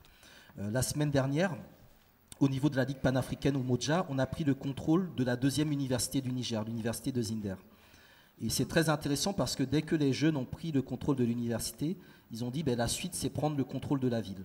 Et donc en fait, c'est vraiment comment on pense autour de cette jeunesse étudiante africaine les possibilités de se réinventer politiquement, euh, comment également on met en place du point de vue de tout ce que nous produisons d'un point de vue culturel, du politique. Quelle doit être la direction artistique, culturelle, scientifique de nos activités, y compris nos activités politiques. Euh, comment faire en sorte que du temps de la négritude, on avait des intellectuels, c'est des intellectuels qui étaient politisés et aujourd'hui ne le sont plus. Donc c'est construire des intellectuels organiques, c'est faire en sorte que les lieux de production soient des lieux, euh, je dirais, qui soient en lien avec les objectifs politiques. Euh, voilà, maintenant, il ne faut pas se faire d'illusions, il y aura toujours de l'intégrationnisme. Euh, il y a des étudiants que j'ai vus pendant toute l'année du, du, 1er octobre jusqu'au jusqu'au 25 mai. Et le 10 juillet, ils étaient à l'Élysée en train de faire le selfie avec Macron, alors que je n'ai pas arrêté de leur dire Macron c'est le diable, n'y allez pas, etc. Ils y ont été. Donc euh, on ne pourra pas avoir tout le monde. Il faut, euh, je pense, avoir des, euh, bonnes personnes, des bons éléments et, travailler vraiment la, question de la, conscientisation, la conscientisation politique et la compassion. C'est pas tellement rendre les choses plus sexy, mais c'est rendre, c'est rendre la lutte désirable et nécessaire et, de montrer qu'il n'y a pas d'autre alternative que de s'y engager. Euh, maintenant, sur le fait qu'il n'y ait pas forcément euh, plus de personnes noires à tel ou tel événement, euh, bon, ben, ça, c'est des réalités sur lesquelles effectivement il faut, il faut se pencher. c'est un problème où ça n'en est pas un. Je pense qu'aujourd'hui, on est aussi dans, une, dans, une, dans, des formes de militantisme qui sont très éclatées, très éclatées, qui sont très aussi virtualisées. Et ça aussi, ça doit nous amener à nous interroger sur le type de stratégie euh, nécessaire à mettre en place pour toucher euh, les uns et les autres. Euh, parce que, moi je vous le dis ici, nos plus grandes victoires, elles ne sont pas du tout médiatisées. Et, et ça aussi, c'est important peut-être, ne pas vouloir être forcément, à travers tel ou tel type d'événement, représentatif de quoi que ce soit. On est à une session de l'école des coloniales. Moi, je suis un militant panafricain, je ne me considère pas comme un militant décolonial, même si j'ai des liens, des intérêts, etc. On est là pour parler d'une thématique précise, panafricanisme, tiers-mondisme, réparation. Euh, je pense que le débat ne va pas s'arrêter là euh, et, l'enjeu c'est que chaque personne présente ici ben, puisse aussi amener dans son cercle ce type de débat-là pour faire en sorte que les choses euh, s'agrandissent et, s'élargissent. Voilà, il y a quelques militants de mon organisation, la Ligue panafricaine Moja, qui sont présents. Euh, qui, euh, qui, viennent aussi ben, se former, discuter, échanger. Et puis je pense qu'il y aura, il y aura, des, suites, euh, il y aura des suites à donner parce que la, lutte va être longue. La lutte va être longue parce que la lutte a commencé il, y a, il, y a, très longtemps. Il y a très longtemps. Je, je, je, pas dire quelque chose? Sur la question de, de, Dans le micro. Non, sur la question de, des intellectuels organiques. Je pense qu'il est aussi nécessaire, dans le sens de ce que dit euh, Azmet Boukari, c'est de rayer les logiques, euh, les logiques de récupération des, euh, des militants noirs et arabes et, des militants non blancs par les organisations politiques blanches. C'est-à-dire qu'aujourd'hui, il y a toute cette logique qui est là de récupération des militants, que soit des militants de banlieue ou pour en faire euh, non pas des intellectuels organiques, mais des cadres euh, de, dans des organisations blanches. Et je pense que euh, une des, une de, des une question, c'est une question qui a beaucoup d'importance, c'est de rayer ces, enrayer ces logiques de récupération. Ça d'une part. D'autre part, je pense que sur la question de transcender aussi les identités nationales de tout chacun. Nous, on a une proposition politique qui est dans mon organisation, qui est le pire, et ce n'est pas rien déjà quand on parle de, ça s'appelle Parti des indigènes de la République, c'est aussi un moyen de transcender, de dépasser ces appartenances nationales, même s'il ne s'agit pas non plus de les exclure, parce que on sait que le nationalisme de chez nous, ce n'est pas le nationalisme blanc et qu'il a été produit dans des contextes complètement différents, mais de dire que c'est une organisation indigène, c'est de renvoyer d'abord à une condition, pas, à une nationalité. Et du coup, c'est pour ça que moi, je suis tunisienne, je me retrouve dans une organisation avec des Algériens, avec des Marocains, avec euh, des Antillais, euh, et ça, c'est aussi important pour, euh, pour nos luttes mhm. communes. Mhm. Je vais juste euh, rapidement répondre euh, à la question du, des réparations aux États-Unis. vraiment rapidement. Hein. en fait, cette question a toujours été latente depuis depuis très très longtemps. Elle a été portée par des grosses euh, organisations comme December 12 par exemple, qui était à Durban, et par d'autres. Euh, mais euh, toujours, ils ont, c'était une fin de non-recevoir. Et c'est vrai qu'il y a quelque chose, il y a plusieurs éléments qui ont joué en, en, faveur de la situation où ils sont aujourd'hui.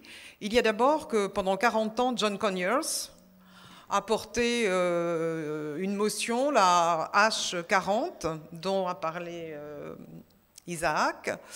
Euh, et durant 40 ans, il a systématiquement, chaque année, demandé au Black Caucus de porter, de, porter cette question des réparations au niveau du Congrès. par ailleurs, il y a eu en 2016 une visite du pays organisé par euh, le groupe de travail sur les personnes d'ascendance africaine, où dans le compte-rendu, dans le rapport fait sur euh, cette visite, euh, les experts ont, parlé des réparations. Au regard de la situation faite aux Afro-Américains, en termes de racisme structurel et systémique. Et surtout, quand on regarde euh, les incarcérations massives, euh, le nombre de tués par la police, les erreurs euh, policières, enfin, qui ne sont pas forcément des erreurs, la façon dont les ghettos sont organisés et certaines villes complètement noires, etc., etc. Donc on a parlé d'un racisme structurel là-dessus est venue effectivement la crise, euh, de 2018 où les banques ont été remboursées et les, les Afro-Américains pauvres ont été chassés de leur maison lorsqu'ils ne pouvaient pas payer les rentes qu'ils devaient. Et je pense aussi qu'il y a autre chose qui est venu euh, dans cette euh, question qui est vraiment essentielle aujourd'hui, alors qu'il y aura les élections bientôt, euh, c'est aussi certainement le passage de Obama. Le passage de Obama n'a pas permis de poser la question afro-américaine, puisqu'il s'est bien gardé d'en parler et qu'il a agi comme euh, tout euh, bon président blanc qu'il est dans sa tête. donc la question afro-américaine, ce racisme structurel est est passé, euh, est passé, a continué d'être passé sous silence. Donc aujourd'hui, il y a un véritable renouveau et une mobilisation euh, autour des réparations aux États-Unis. Il y a de nombreux groupes qui ne travaillaient plus sur ces problématiques-là, qui retravaillent dessus et euh, ils ont l'intention de le porter au niveau des élections et même après. Et euh, le, 13 novembre, il y a même une université euh, noire de Washington qui s'appelle l'université Howard, qui travaille sur ces questions-là. et qui organise la semaine prochaine, enfin le 13 novembre, une journée autour des réparations avec un certain nombre d'acteurs internationaux. Donc le, la question des réparations est quelque chose d'essentiel et je ne pense pas qu'elle puisse à l'heure actuelle, parce qu'elle est posée, elle est posée de manière, euh, euh, ce n'est pas une revendication individuelle, c'est une revendication vraiment de remettre, de questionner ce racisme structurel et de, traiter de cette question euh, de leur point de vue et non pas du point de vue des blancs. Voilà juste euh, ajouter euh, quelque chose. Euh, juste pour faire le lien avec la question de d'Ouria, le débat sur les... Dans le micro, je parle en fait, mais... T'es sûr? Ok, ok. bah, du coup, on entend mieux là. Parle plus fort. Euh, ouais, non, juste pour rebondir sur la question d'Ouria et faire le lien avec ce, à quoi, ce que mentionnait Mireille, sans vouloir caricaturer les divisions qui existent dans le milieu américain. Euh, Chikot, il a participé à, ce débat, à une contribution majeure, déjà par un essai qui a été écrit en 2014 de près de 80 pages où il faisait justement le lien entre l'héritage de la ségrégation, de l'esclavage et la condition actuelle des Noirs. Il a aussi participé aux auditions par rapport à cette proposition de loi euh, qui a été proposée donc pour la dernière fois après la, fin de carrière du, du, euh, qui l'a porté. Toute... voilà. Euh, ce débat-là aussi aux États-Unis est traversé par les mêmes genres de tensions qu'il y a ici dans, dans, les milieux noirs et des coloniaux entre euh, l'intégrationnisme et quelque chose de plus radical comme le mouvement décolonial ou panafricain. Euh, la question des réparations, historiquement, aux États-Unis, a été portée par des mouvements panafricains. L'International Black um, World, qui se revendique de, de, Garvey, une Cobra aussi, qui est plutôt internationaliste, euh, et aujourd'hui a, émergé via Twitter, via des personnalités YouTube, que j'ai même pas envie de nommer, parce que vraiment, elles n'ont pas ma sympathie. un mouvement qui s'appelle ADOS, qui fait des réparations justement un gage d'intégration, qui exclut de cette question les populations noires, immigrées, euh, issus de la Caraïbe et d'Afrique, qui pourtant portent aussi en eux l'expérience coloniale et vivent au quotidien la négrophobie aux États-Unis, euh, partagent les mêmes lieux de résidence, par exemple à New York. Euh, Brooklyn est très majoritaire, en tout cas une grosse partie de Brooklyn est, caribéen, et vivent la violence policière au quotidien. Pourtant, ce mouvement-là, qui, a une très forte voix dans les débats récents, fait de, des réparations quelque chose comme un gage d'intégration, une reconnaissance à part entière de leur statut d'Américain en contradiction avec le statut d'étranger euh, des autres. Et tout en euh, euh, formulant une critique de Mama, justement, qui, au lieu d'avoir été un, traître aux intérêts noirs pour des raisons politiques objectives, serait un traître aux, intérêts noirs parce que tout simplement il est d'ascendance africaine et pas nord-américaine. Donc voilà. Donc c'est quand même une tension qui fait écho un petit peu à la question de que je pensais qu'il fallait quand même euh, dire à quel point elle traverse la question des réparations de façon internationale. Ça peut être mobilisé comme un élan de solidarité euh, transnational très fort et une volonté de renverser, renverser le, rapport de force avec l'Occident, tout comme ça peut être aussi un gage d'intégration avec des demandes d'une, euh, de certaines faveurs dans un cadre tout à fait libéral et contre-révolutionnaire. Eh bien, eh bien, merci. On va. Vous voulez ajouter un dernier mot? Les intervenants? Non, merci. Eh bien, on va s'arrêter là. on va s'arrêter là. On peut encore applaudir. Euh. Merci. Merci Rania, merci Isaac, merci Hamzat et merci Mireille.